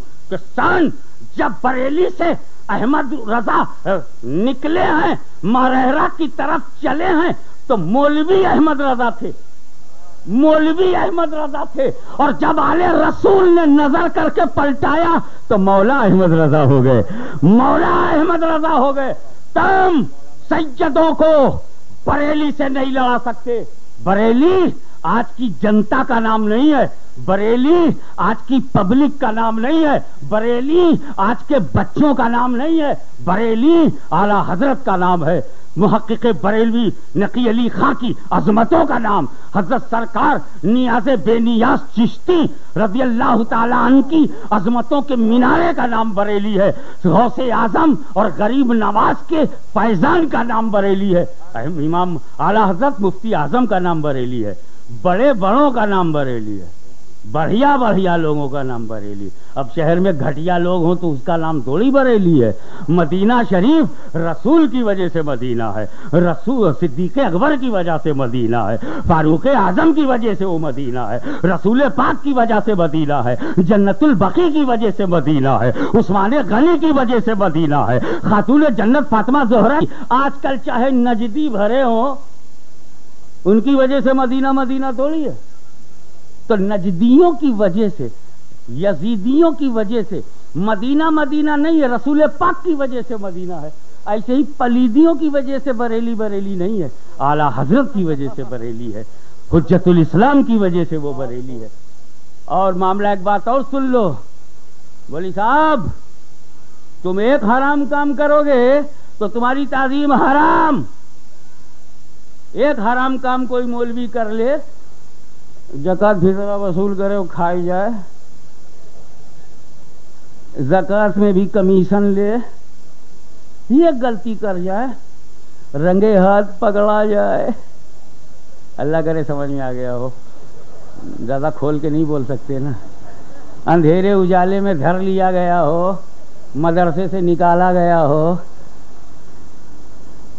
तकरीर करने आया हो, कुछ और करने लगा हो। तो एक बदमली ताजीम को हराम कर देती है। लेकिन यह फजल है सादात पर कि रसूल पाक ने मौला अली से कहा कि मैंने दुआ की है कि फातिमा जहरा की जुर्रियत और औलाद नारे जहन्नम से महफूज रहे। मौला अली ने पूछा, क्या किया? का ताला ने वादा कर लिया, वही करेगा जो तुम्हारे साथ किया। एक इर्शाद होता है, फातिमा नाम ही इसीलिए रखा गया कि इनकी औलाद जहन्नम में जाएगी नहीं। तीसरी जगह आला हज़रत फरमाते हैं कि जो सादात इल्म इलाही में सादात हैं, उन पर किसी गुनाह का आजाब होगा ही नहीं। आला हज़रत फरमाते हैं कि सैयद की तोहिन करने वाला या तो मुनाफिक है, या हरामी है, या हैजी बच्चा। अल्फाज उनके हैं, मैं बदल सकता। तो अब जो लोग सैयद से लड़ रहे हैं, वो इमाम अहमद रजा की नज़र में क्या है? चूँकि उन्होंने तीन बताया है, मैं एक नहीं बता सकता। वो खुद बता मैं, वो मुनाफिक हैं कि हरामी हैं, कि हैजी बच्चा। ये हैजी बच्चा समझ में नहीं आया? जब औरतों के पास नहीं जाना चाहिए, तब गया। और प्रेगनेंसी हो गई। तो हैज़ की हालत में जो बच्चे पैदा होते हैं, गंदे होते हैं, इसीलिए सादात को बुरा कहते हैं, क्योंकि गंदे होते हैं। तुम हलाकत को मानते क्यों नहीं? अब बताओ हलाकत सैयदों के लिए कीमती है कि नहीं? तुम खुद बताओ। इतनी बढ़िया बढ़िया बात बताने वाले, सैयदों का दिल रखने वाले। आला हज़रत ने अपने कांधे पर जिस सैयद को पालकी में उठाया था, वो मौलवी सैयद था, आलिम था, परहेजगार था, हुजूर था, वो तो मजदूर था। मजदूर को अहमद रजा कांधे पर उठा मैं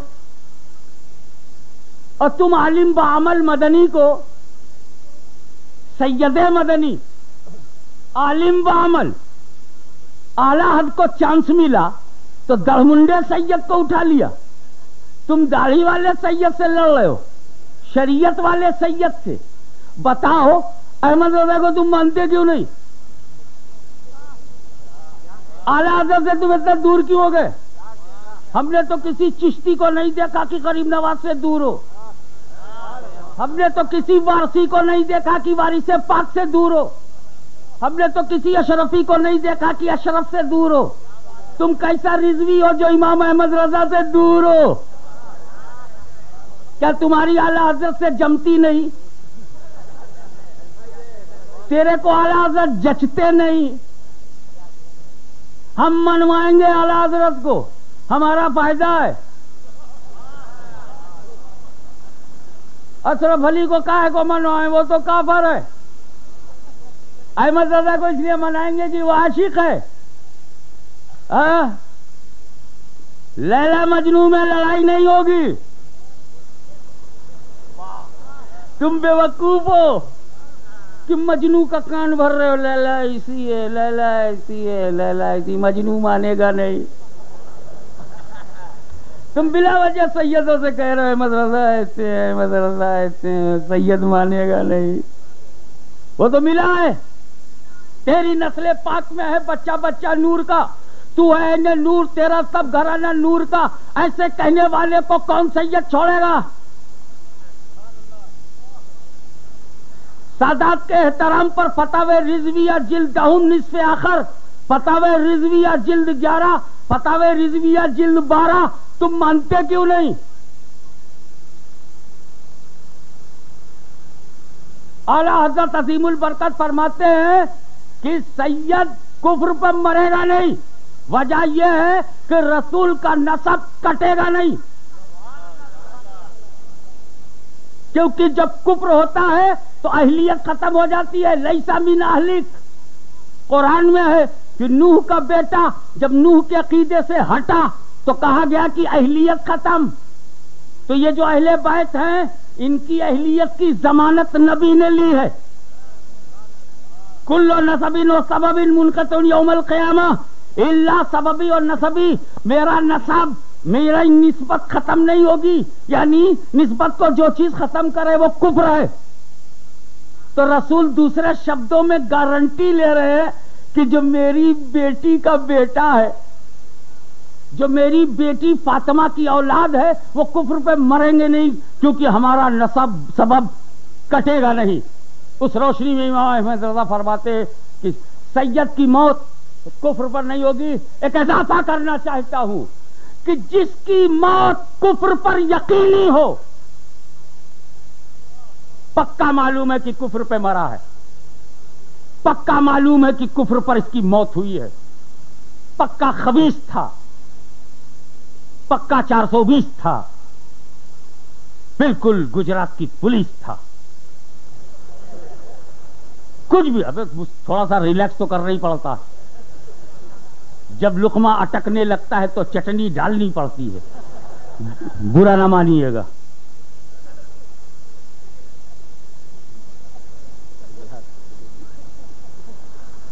जो भी एक बात याद रखो, सैयद कुफर पर नहीं मरेगा। इनशाला लेकिन अगर कोई कुफर पे मर गया तो ज़िंदगी भर वो अपने को सैयद लिखता रहा हो। सैयद नहीं है। इसीलिए कुफर और सियादत जमा नहीं होगी। अगर टांडे से उठकर कोई कहे, मैं सैयद हूँ, और बदअकीदगी जो कुफर है उस पर मर गया हो तो हम उसे हुसैन अहमद ही कहेंगे, नहीं कहेंगे। उसे हम टांडवी कहेंगे, सैयद नहीं कहेंगे।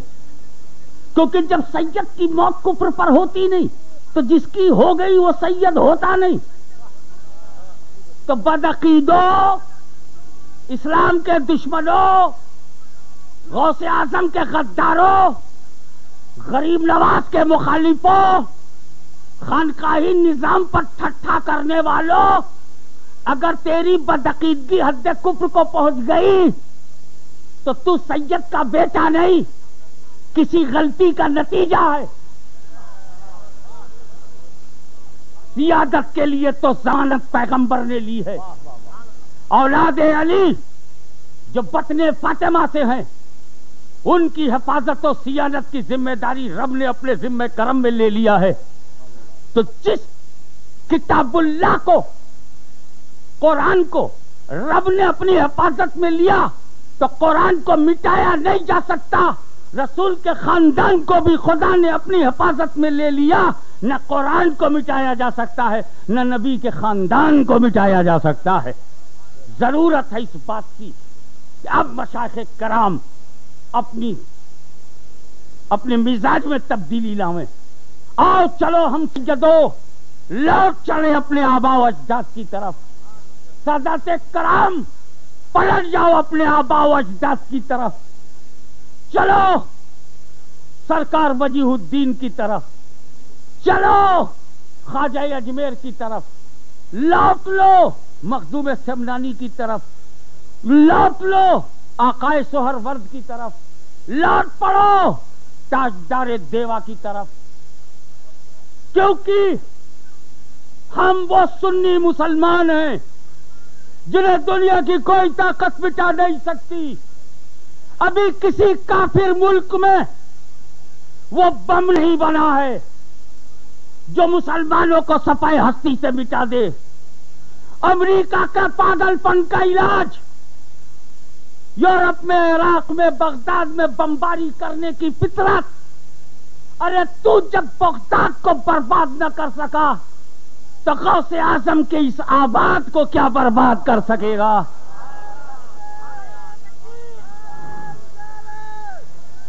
हमारी खानकाएँ शाह आलम, कुतब आलम, वजीहुद्दीन खुदा नुमा मुस्तफ़ा नुमा, हज़रत सदा सदाबहार शख्सियतें, मूसा सुहाग, वारिस पाक मखदूम समना साबिर कलियरी खाजा अजमेरी गौसे झीलानी। इनकी दुआओं से बना हुआ यह सुन्नियत का किला। ये गढ़ है गढ़। इस किले में कुरान भी है, फहमे कुरान भी। इस किले में हदीस भी है, तफीम हदीस भी। इस किले में ईमान भी है और अमल भी। इस किले में शरीयत भी है, तरीकत भी। और लौट चले अपने आबा अजदाद की तरफ़। खाली खानका की दीवारें न हो बेकार भी नज़र आए। ज़िक्र से गूंज जाए। वो मौलवी मुस्तनद न समझा जाए जो खानकाह से न गुजरा हो। ये मदरसे से एक कागज़ लेकर निकलने वालों, जब तक किसी खानकाह की मुहर न हो, तब तक उसे तालिब इल्म समझा जाए। और जब खानकाह से उसे मुहर मिल जाए तो उसे आलिम दीन समझा जाए। वो आलिम क्या? जिस पर सच बोलना भारी हो जाए। जिस पे सच बोलना। सच ये है कि कोई भी पढ़ा लिखा सैयद, जो इमाम अहमद रजा को जानता है, उन्हें महबूब का दर्जा देकर दिल में बसाए हुए है। इतना बड़ा अल्लामा इतना बड़ा मुतकल्लिम इतना बड़ा मुजद्दिद इतना बड़ा मुहक्को मुहद्दिस और एक मजदूर को पालकी पर बिठाकर कांधे पर उठाए। गौसे आज़म का, का किया हुआ पाते है कि शीरीनी एक टुकड़ा ज़मीन पर गिर जाए तो अहमद रजा चारपाई से उतरकर दोनों घुटने को ज़मीन पे रखकर दोनों हाथों को ज़मीन पे रखा। मोदी से आज़म फरमाते, मैंने समझा कि कोई तकलीफ़ है? तो दुनिया देखती रही कि जबान को बाहर करके गौसे आज़म के फातेह की शीरानी को नोके ज़ुबान से उठा रहे हैं। अरे गौसे आज़म के नाम पर पढ़ी हुई जब मिठाई का इतना एहतराम है तो गौसे आज़म की औलाद का कितना एहतराम होगा? तुम इमाम अहमद रजा को मानते क्यों नहीं? ये आलादत को छोड़ क्यों दिया? वो मजदूर को कांधे पर उठाते हैं, तुम हुजूर को भी नहीं उठाते अलाजत को छोड़ क्यों दिया? शिकायत हमें करनी चाहिए। उल्टी तुम कर रहे हो। आलाजत के फतवे पर अमल तुम ना करो। क्या मतलब? आला हज़रत वकील हैं। इश्क रसूल और एहतराम सादात की वकालत करते रहे, सैयदों से लड़कर। अहमद रजा तुम्हारे नहीं होंगे।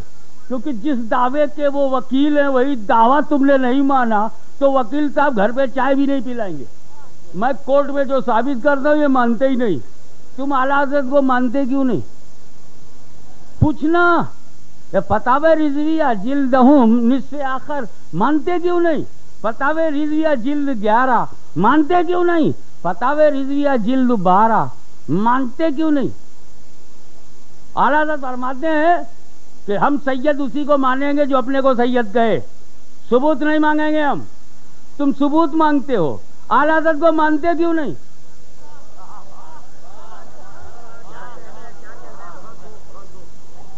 आला हज़रत फरमाते हैं, सबूत नहीं मांगना है। हर आदमी अपने नसब पर खुद अमीन होता है। वो जो कहेगा हाँ आ, वो कहेगा हाँ अलबत्ता ये है कि अगर किसी कतई यकीनी दलील से मालूम हो झुट्टा है तब उसे सैयद नहीं कहेंगे। और ज़रूरी हुआ तो लोगों को भी बता देंगे ये सैयद नहीं है। जैसे बहुत सारे लोग अशरफ नहीं है तो बताना पड़ता है कि नाम ज़रूर है मगर ख़ानदान के नहीं है। नाम ज़रूर है किसी का साहिल अशरफ नाम हो तो वो साहिल अशरफ नाम रख लिया। अशरफ का साहिल है, लेकिन वो ख़ानदानी अशरफ का नहीं है। ये बताना पड़ेगा। तो अगर किसी के बारे में पक्का मालूम हो कि ये सैयद नहीं है तो बताओ। और फरमाया, मेरा अमल इस बात पर है। इस हकायत पर मेरा अमल है। हकायत क्या है? आला उस हकायत को फतावे रिजविया में नकल करते हैं। इस हकायत पर मेरा अमल है। एक सैयद साहब थे वो एक मौली साहब के यहाँ चले गए या किसी साहब के यहाँ चले गए, वो ठीक से याद नहीं कि क्या लिखा है, एक साहब के यहाँ गए। कह लगे, भाई, मेरी मदद कर दो। मैं सैयद हूँ वाले रसूल हूँ। तुझे पूछा, क्या सबूत है? क्या सबूत है कि तुम सैयद हो? वो बेचारा चुपचाप चले आए। सबूत तो उसके पास भी नहीं है कि क्या सबूत एक तेरा बाप है? अम्मा की गवाही पे भरोसा करके मानना पड़ता है। एक औरत की गवाही पे मान लिया कि तेरा अब्बा यही है। एक औरत की गवाही पे चाँद नहीं मानते, अब्बा को मान लिया।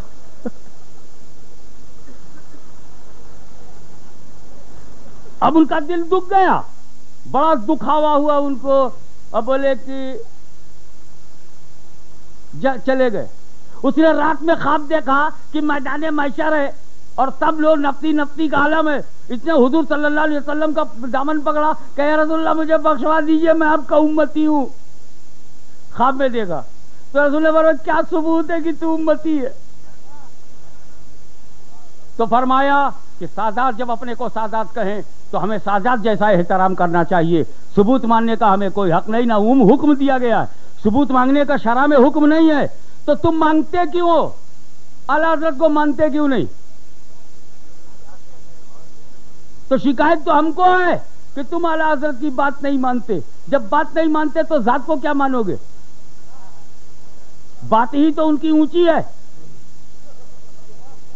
आला हज़रत की जात ऊँची की बात ऊँची है।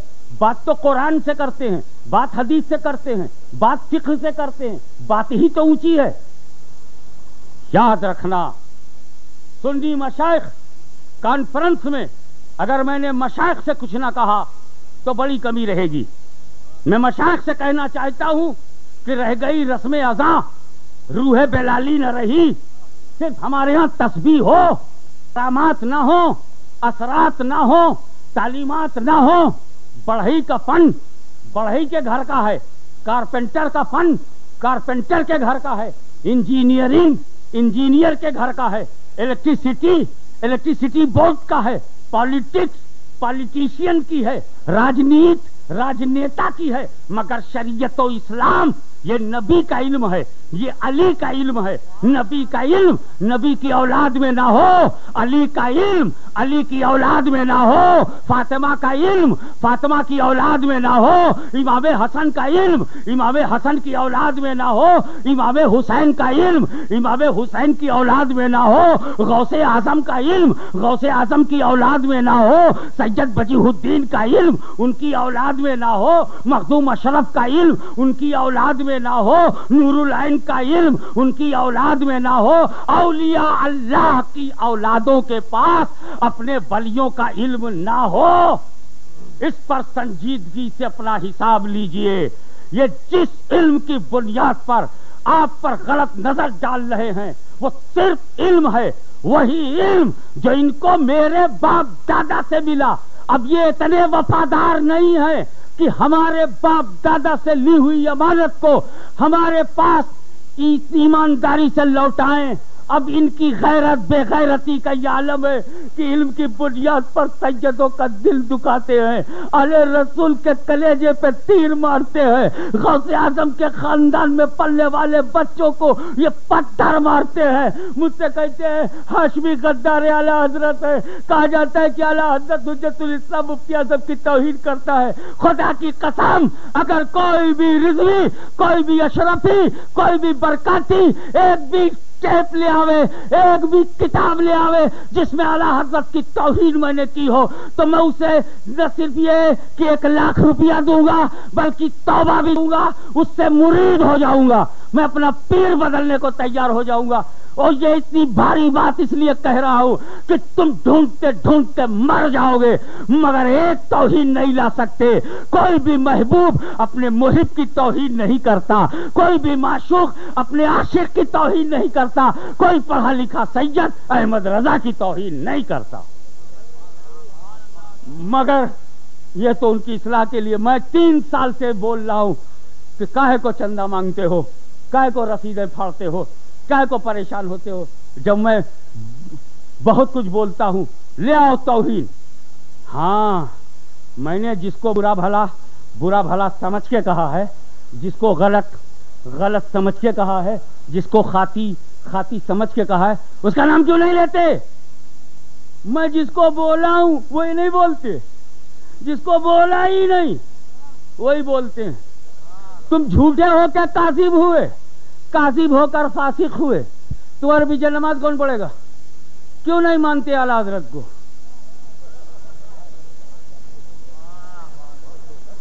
भाई, आला हज़रत को छोड़ क्यों दिया? अदना हज़रत के लिए आला हज़रत को छोड़ दोगे? अदना हज़रत के लिए आला हज़रत को छोड़ दोगे? बरसात के लिए सादात को छोड़ दोगे? याद रखो अच्छी तरह से समझो कि कुरान ही असल है जो रहमान ने नबी को सिखाया, नबी ने अली को सिखाया, अली ने हर वली को सिखाया, वली ने सुन्नियों को सिखाया। ये वली ना होते तो आले रसूल ना होते। आले रसूल ना होते तो इमाम अहमद रजा, इमाम अहमद रजा ना होते, मौली साहब होकर चले जाते। लेकिन कुर्बान जाओ खातिमुल काबिर सैदना अल रसूल बरकाती रज़ी अल्लाह तन की अजमत पर कि उन्होंने बरेली को खिलाफत दी। क्यों नहीं काट सकते? वो सुनो, इसमें करम है, मरहरा मुताहरा का नज़र है खातिमुल अकाबिर की किछौचे से आला हज़रत अशरफी मियाँ को बुलाया किछौचा शरीफ से आला हज़रत अशरफी मियाँ को, बरेली शरीफ से आला हज़रत फाजिल बरेलवी को दो आला हज़रत, तीसरे आला हज़रत की बारगाह में। आला तरीन हज़रत की बारगाह में किछौछे के आला हज़रत, बरेली के आला हज़रत, मारहरा के आला तरीन हज़रत की बारगाह में पहुँचे। इन्हें खिलाफत दिया। ईमान बचाओ। इमाम अहमद रजा को खिलाफत दिया और लगा दिया काम से, ईमान बचाओ। और आला हज़रत अशरफी मियाँ को खिलाफत दिया और काम दे दिया। इरफान बचाओ। इरफान बचाने का काम कछौछा कर रहा था। ईमान बचाने का काम बरेली कर रहा था। वही काम तुम क्यों नहीं करते? आला हज़रत की बात मानते क्यों नहीं? तो आला हज़रत खातिमुल अकाबिर, सरकार सैयद आले रसूल मारा रबी रज़ी अल्लाह ने एक हाथ से दोनों की दस्तार किया है। क्या मतलब बता दिया है बेवकूफ़? तुम लड़ लड़ के जहन्नम में जाओ, मगर कि चौचा बरेली को तुम लड़ा नहीं सकते। इसलिए कि कादरी बरकाती के हाथ ने अशरफी रिजवी को एक किया है। यही वजह है कि आला हज़रत की लड़ाई किसी से नहीं रही। सादात का एहतराम वो करते रहे। यही जब हज़रत मुहदस आज़म हिंद पढ़ने के लिए गए पढ़ने के लिए गए तो अलमलफूज में मुफ्ती आज़म हिंद लिखते हैं उन्होंने फरमाया सैयद मोहम्मद सैयद मोहम्मद अशरफी, अरे ये तो मेरे शहजादे हैं, ये तो मेरे शहजादे हैं। मेरे पास जो कुछ है, इन्हीं के जद्दे करीम गौसुस सकलैन का सदका और अतिया है। तुम आला हज़रत मुहदस आज़म को औलाद गौस आज़म मान रहे हैं, मुफ्ती आज़म अल मलफूज में छाप रहे हैं, तुम आला हज़रत मुफ्ती आज़म को मानते क्यों नहीं? आला हज़रत अपनी बेहतरीन किताब अल इस्तिमदाद शरीफ में फरमाते हैं, अहमद अशरफ, हमदो शरफ ले, इससे जिल्लत पाते ये हैं। मौलाना अहमद अशरफ को कातए कातए नजदीयत और हामियत सुन्नत और रहबर शरीयत आला हज़रत ने मनवाया है। तुम आला हज़रत की बात मानते क्यों नहीं? मुफ्ती आज़म हिंद, अहमद अशरफ हम दो शरफ ले, इससे जिल्लत पाते ये हैं, इस पर मुफ्ती आज़म ने हाशिया लगाया है कि हज़रत सैयद अहमद अशरफ बेटे हैं बेटे हैं शेखुल मशाइख हज़रत सैदना अली हुसैन कछोचवी के जो हम शबी है गौस आज़म हैं। इन्होंने तालीम मौलाना लुत्फुल्ला अलीगढ़ी तक तकमील की और ख्वाब में देखा कि रसूल दो आलम सल्लल्लाहु अलैहि ने मौलाना अहमद अशरफ की दस्तारबंदी रसूल पाक ने अपने हाथ से की है। जब ख्वाब से उठे तो उन्होंने दस्तारबंदी लेने से इनकार कर दिया। किसी मदरसे से मैं नहीं लूँगा क्योंकि रसूलुल्लाह सल्लल्लाहु अलैहि वसल्लम ने अपने हाथ से मुझे मेरे सर पे बांधा है। अब मैं किसी मौलवी से नहीं बंधवाऊँगा। फरमाते हैं कि उनकी तकरीर में, उनकी तकरीर जब होती थी तो आला हज़रत फाजिल बरेलवी खड़े होकर के उनकी तकरीर सुनते थे। किसी ने पूछा, सरकार, अब मौलाना अहमद अशरफ कछौछवी की तकरीर खड़े होकर क्यों सुनते हैं? तो फरमाया कि इनकी तकरीर के दौरान बारगाह रसूल में मुझे हाजिरी नसीब होती है। तो मैं बैठूं कैसे? मुझे हाजिरी नसीब होती है। और ये सहीउन नसब जीलानी सैयद हैं, इसलिए घर की कहानी, जब घर की जुबानी सुनता हूँ तो लज्जत ही और है। आला हजरा, उनको गौसे आज़म की औलाद कहें, उनको बारगाहे रसूल में मुकर्रब कहें। तुम आला हज़रत की मानते क्यों नहीं?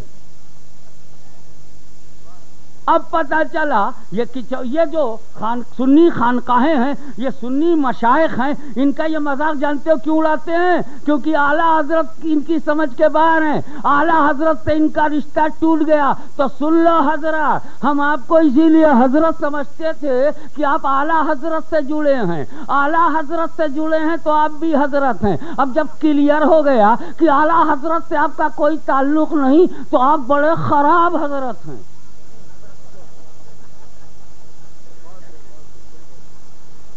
अगर वक्त होता, तबीयत सही होती तो मैं बताता कि फतावे रिजविया के फतवों से इनकार करने वालों तुम आला हज़रत को मानते क्यों नहीं? उनका फतवा नहीं मानोगे? उनकी बात नहीं मानोगे? तो जो बात नहीं मानेगा आला हज़रत की, आला हज़रत की बात नहीं मानोगे? मैं मैं कहता हूँ हाँ जो बातें मोतकदात से मुतालिक हैं, जो बातें एतकादियात से ताल्लुक हैं जो बातें दिल की मोहब्बत से मुतालिक हैं, उनको फिकही इख्तलाफ जैसा नहीं किया जाएगा। मोतकदात और अकायद फिकही मसाइल नहीं है कि इख्तलाफ जायज़ हो। मोतकदात में इख्तलाफ नहीं, मामूलात में इख्तलाफ नहीं। इख्तलाफ अगर होगा तो कवानीन की बारीकियों में, मसाइल फिकहिया फरिया में तो तुम बताओ, जो आला हज़रत की खुश अकीदगी है उसे नहीं मानते तुम फतावे रिजविया छापते हो, अमल क्यों नहीं करते? आला हज़रत की बात मानते क्यों नहीं?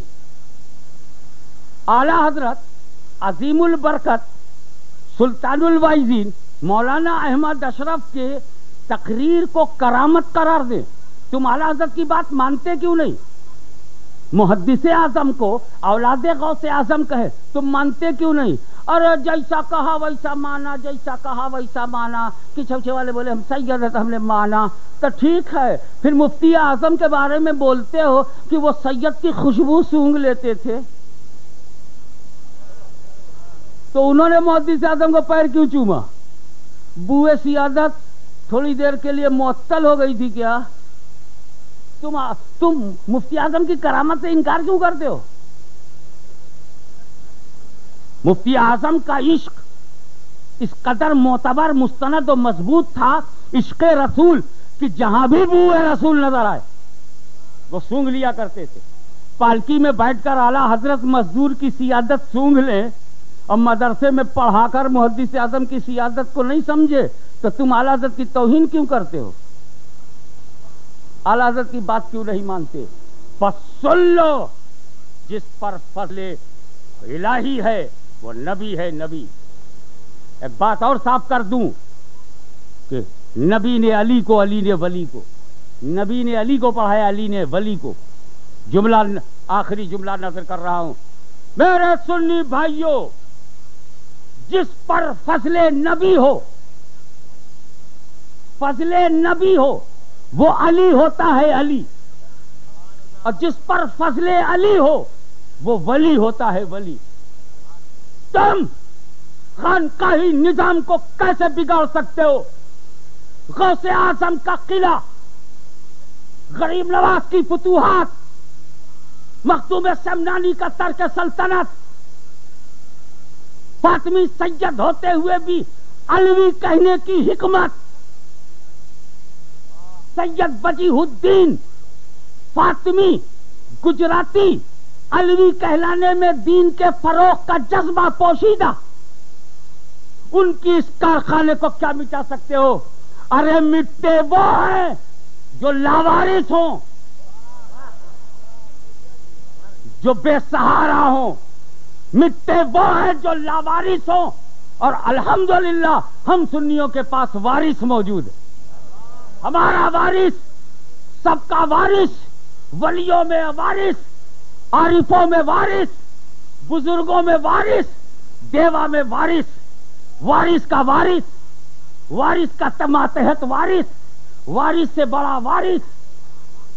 जहाँ देखो वारिस, उस वारिस कायनात सल्लल्लाहु अलैहि वसल्लम, वारिस विलायत रज़ी अल्लाह तालान वारिस का जलवा देखो, सुन्नी मुसलमान, या तो हाथ में कादरी दामन है किसी के चिश्ती है, किसी के नक्शबंदी सोहर वर्दी है, किसी के हाथ में मुकद्दस रिफाई दामन है, किसी के हाथ में किसी बुज़ुर्ग का किसी के कोई लावारिस नहीं। आज हमारी स्टेज पर भी वारसी की सूरत में वारिस का जलवा मौजूद है, कादरी की सूरत में अब्दुल कादिर जीलानी का नूर मौजूद है, चिश्ती की सूरत में गरीब नवाज़ की मेहरबानी मौजूद और सबसे बड़ी बात यह है कि स्टेज पर बैठे वो हैं जिन्हें अपना नसब मालूम, अपने बाप दादा का नाम मालूम, दादा पर दादा का नाम मालूम। तुम जिसे मामूली सैयद कहते हो लाओ एक छोटे से सैयद को। सैयद अब्दुल्ला छह साल का है, उसे मालूम है कि उसका बाप कौन है।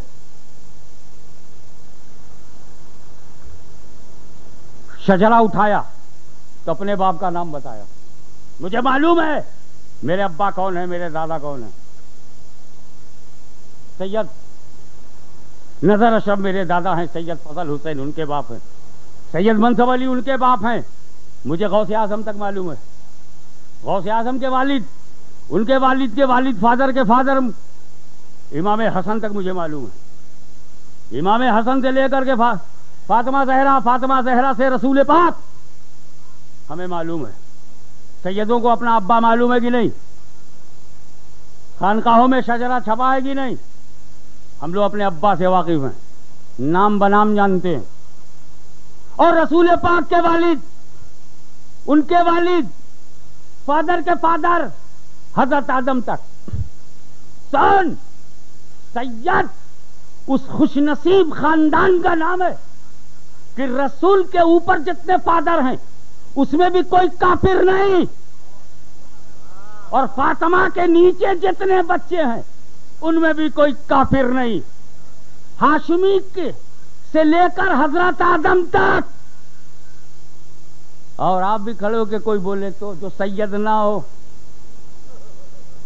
तो बोलेगा, पाँच पुस्तक तो मेरे बाप मुसलमान थे उससे पहले।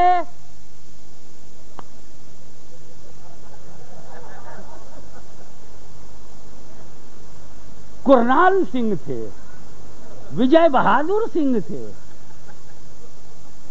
कल्पनाथ चौहान थे। बाप दादा यही तो थे। जी, हमारे बाप दादा हलाकू खां थे, चंगेज खां। ये सब मुसलमान नहीं है। तो देख, बात ये नहीं है कि ये मेरा कमाल है।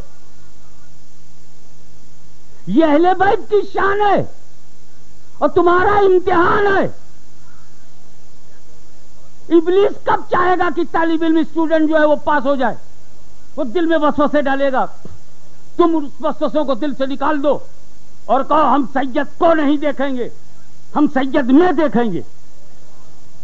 इबलीस से यही गलती हुई थी कि उसने आदम को देखा तो मिट्टी से बने नज़र आए। आदम में नहीं देखा। आदम में देखता तो नबूवत नज़र आती। आदम में देखता तो खिलाफत नज़र आती। तो ये वो बदनसीब हैं जो सैयद को देखते हैं, हाथ पैर दिखाई दिया। सैयद को देखते हैं, बीड़ी पीता दिखाई दिया। सैयद को देखते हैं, सिनेमा का टिकट लेते हुए दिखाई दिया। सैयद को देखते हैं, माजल्ला शराब पीते हुए दिखाई पड़ा। तो सैयद को देखोगे तो अमल याद आए दिखाई पड़ेगा। और सैयद में देखोगे तो फातिमा की निस्बत नज़र आएगी। सैयद में देखोगे तो रसूल की निस्बत नज़र आएगी। तो जब सैयद में देखोगे तो आला हज़रत की बात समझ में आएगी। सैयद को देखोगे तो आला हज़रत की बात समझ में नहीं आएगी। मैं मैं आपसे कहता हूँ, तुम आला हज़रत की बात समझते क्यों नहीं? अगर आला हज़रत अजीमुल बरकत की बात ये समझ जाए तो न कल कोई झगड़ा था, न आज कोई झगड़ा है, न मुस्तकबिल में कोई झगड़ा होगा। अब मैं गुजारिश करूँगा अपने मशाइखीन से हाथ जोड़कर आपके कदमों की, आपके अजमत भरे कदमों को हाथ लगाकर आपके सामने गिड़गिड़ाते हुए अर्ज़ करूँगा।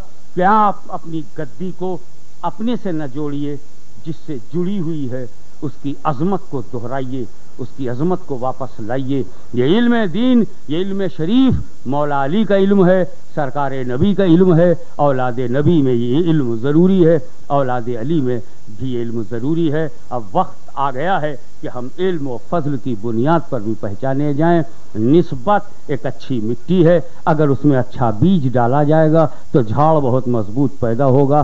सैयद की ज़मीन बहुत अच्छी है। अगर कुरान और हदीस का बीज इसमें डाल दिया जाए तो बहुत अच्छा पेड़ निकलेगा, बहुत अच्छा झाड़ होगा। जब खराब खराब ज़मीन पर झाड़ पैदा हो जाए तो अच्छी ज़मीन पर कितनी अच्छा झाड़ होगा। वाखरो दावाना अल्हम्दुलिल्लाह किया। मैं उसका बहुत बहुत शुक्रगुजार आज ये सब हजरात मिलकर सलात सलाम पेश करें। या नबी सलाम अलैका, या रसूल सलाम अलैका, या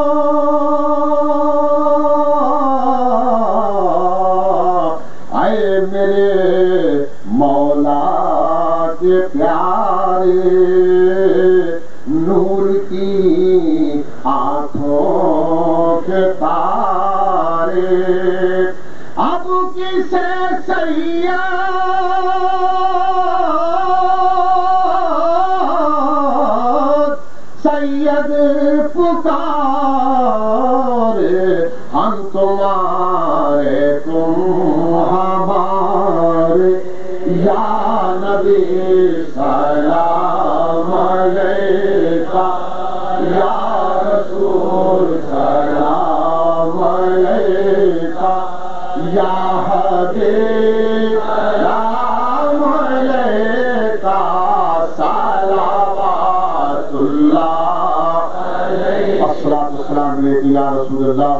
अस्सलातु वस्सलामु अलैका या हबीबल्लाह अस्सलातु वस्सलामु अलैका या नबील्लाह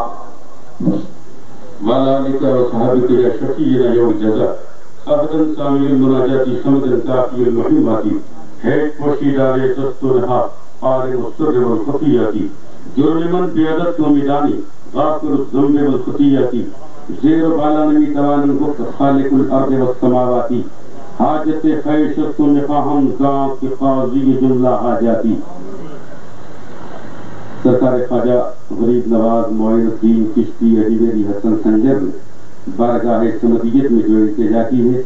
उन्हीं मुकदस तरीन जुमलों में, आपके मुकदस तरीन अल्फाज में मैं दुआ दोहरा रहा हूँ, आप पल की गहराई के साथ आमीन कहें। तुमन पुरजुर्म ऐसी आनंद कोई बफार या अल्लाह। चुमन बाएब नुकसानम तु ही सत्तार या अल्लाह। जुना गुलसरम परमन पनाए तौबा मुस्तहकम तिरानम पर दबा हर लहजा इस्तगफार या अल्लाह। जुना गुलसरम तरदिल पहक के अहमद मुरसल अजाब मर्द क्यों करकत मुराद शुहार या अल्लाह? क्यों गोर तीरा वतर वहशत नुमायत परमन मुजरिम बशमय मगफिरत गर्दा पूरा गलवार या अल्लाह। माइनुद्दीन किश्तीरा के मीना लबसत जारी गुनाहम बख्श ईमारा सलामतार या अल्लाह। मोइनुद्दीन चिश्ती के मीना लबसत जारी। गुनाहम बख्श ईमारा सलामतार या अल्लाह। मेरे मौला हमें ईमान की दौलत दे दे। जोश इस्लाम दे एहसास शरीयत दे दे शमय तौहीद से आई नई भी रोशन कर सागर हुब नबी इश्क रिसालत दे दे। जाकर महर वफा मंजिल तस्लीम और रजा, चश्म भी ना हो अता नूर बसीरत दे दे। वक्त को बकर उमर, फितरत उस्मानी अली शुल इश्क बिलाली की हरारत दे दे। रहबर बुज़ुर्ग सलेमा का रहे नक्श कदम खालिद मर्द मुजाहिद की शुजात दे दे। मुनकशिर फिल पे हो, असरारे हकीकत यार हक शनासों का वो पैगाम विलायत दे दे। दीन पैगंबर इस्लाम का हो तर्क नसीब कौम मिल्लत के लिए जज्बे खिदमत दे दे। वो देने वाले हमें एकता दे दे। वो देने वाले हमें इतिहास दे दे। दिलों के टूटे हुए आज दिलों को जोड़ने वाले मौला मुसलमानों के बिखरे हुए माशरे को मुस्तरद फरमा दे। हमें अपने वकीलों का एहतराम करने की तौफीक अता फरमा। हमें मशाइख इस्लाम का एहतराम करने की तौफीक अता फरमा। हमें सादात किराम का एहतराम करने की तौफीक अता फरमा। अपने छोटों पर नज़र शफकत का हौसला अता फरमा। पाँच परवरदिगार हमें एक और नेक बना दे।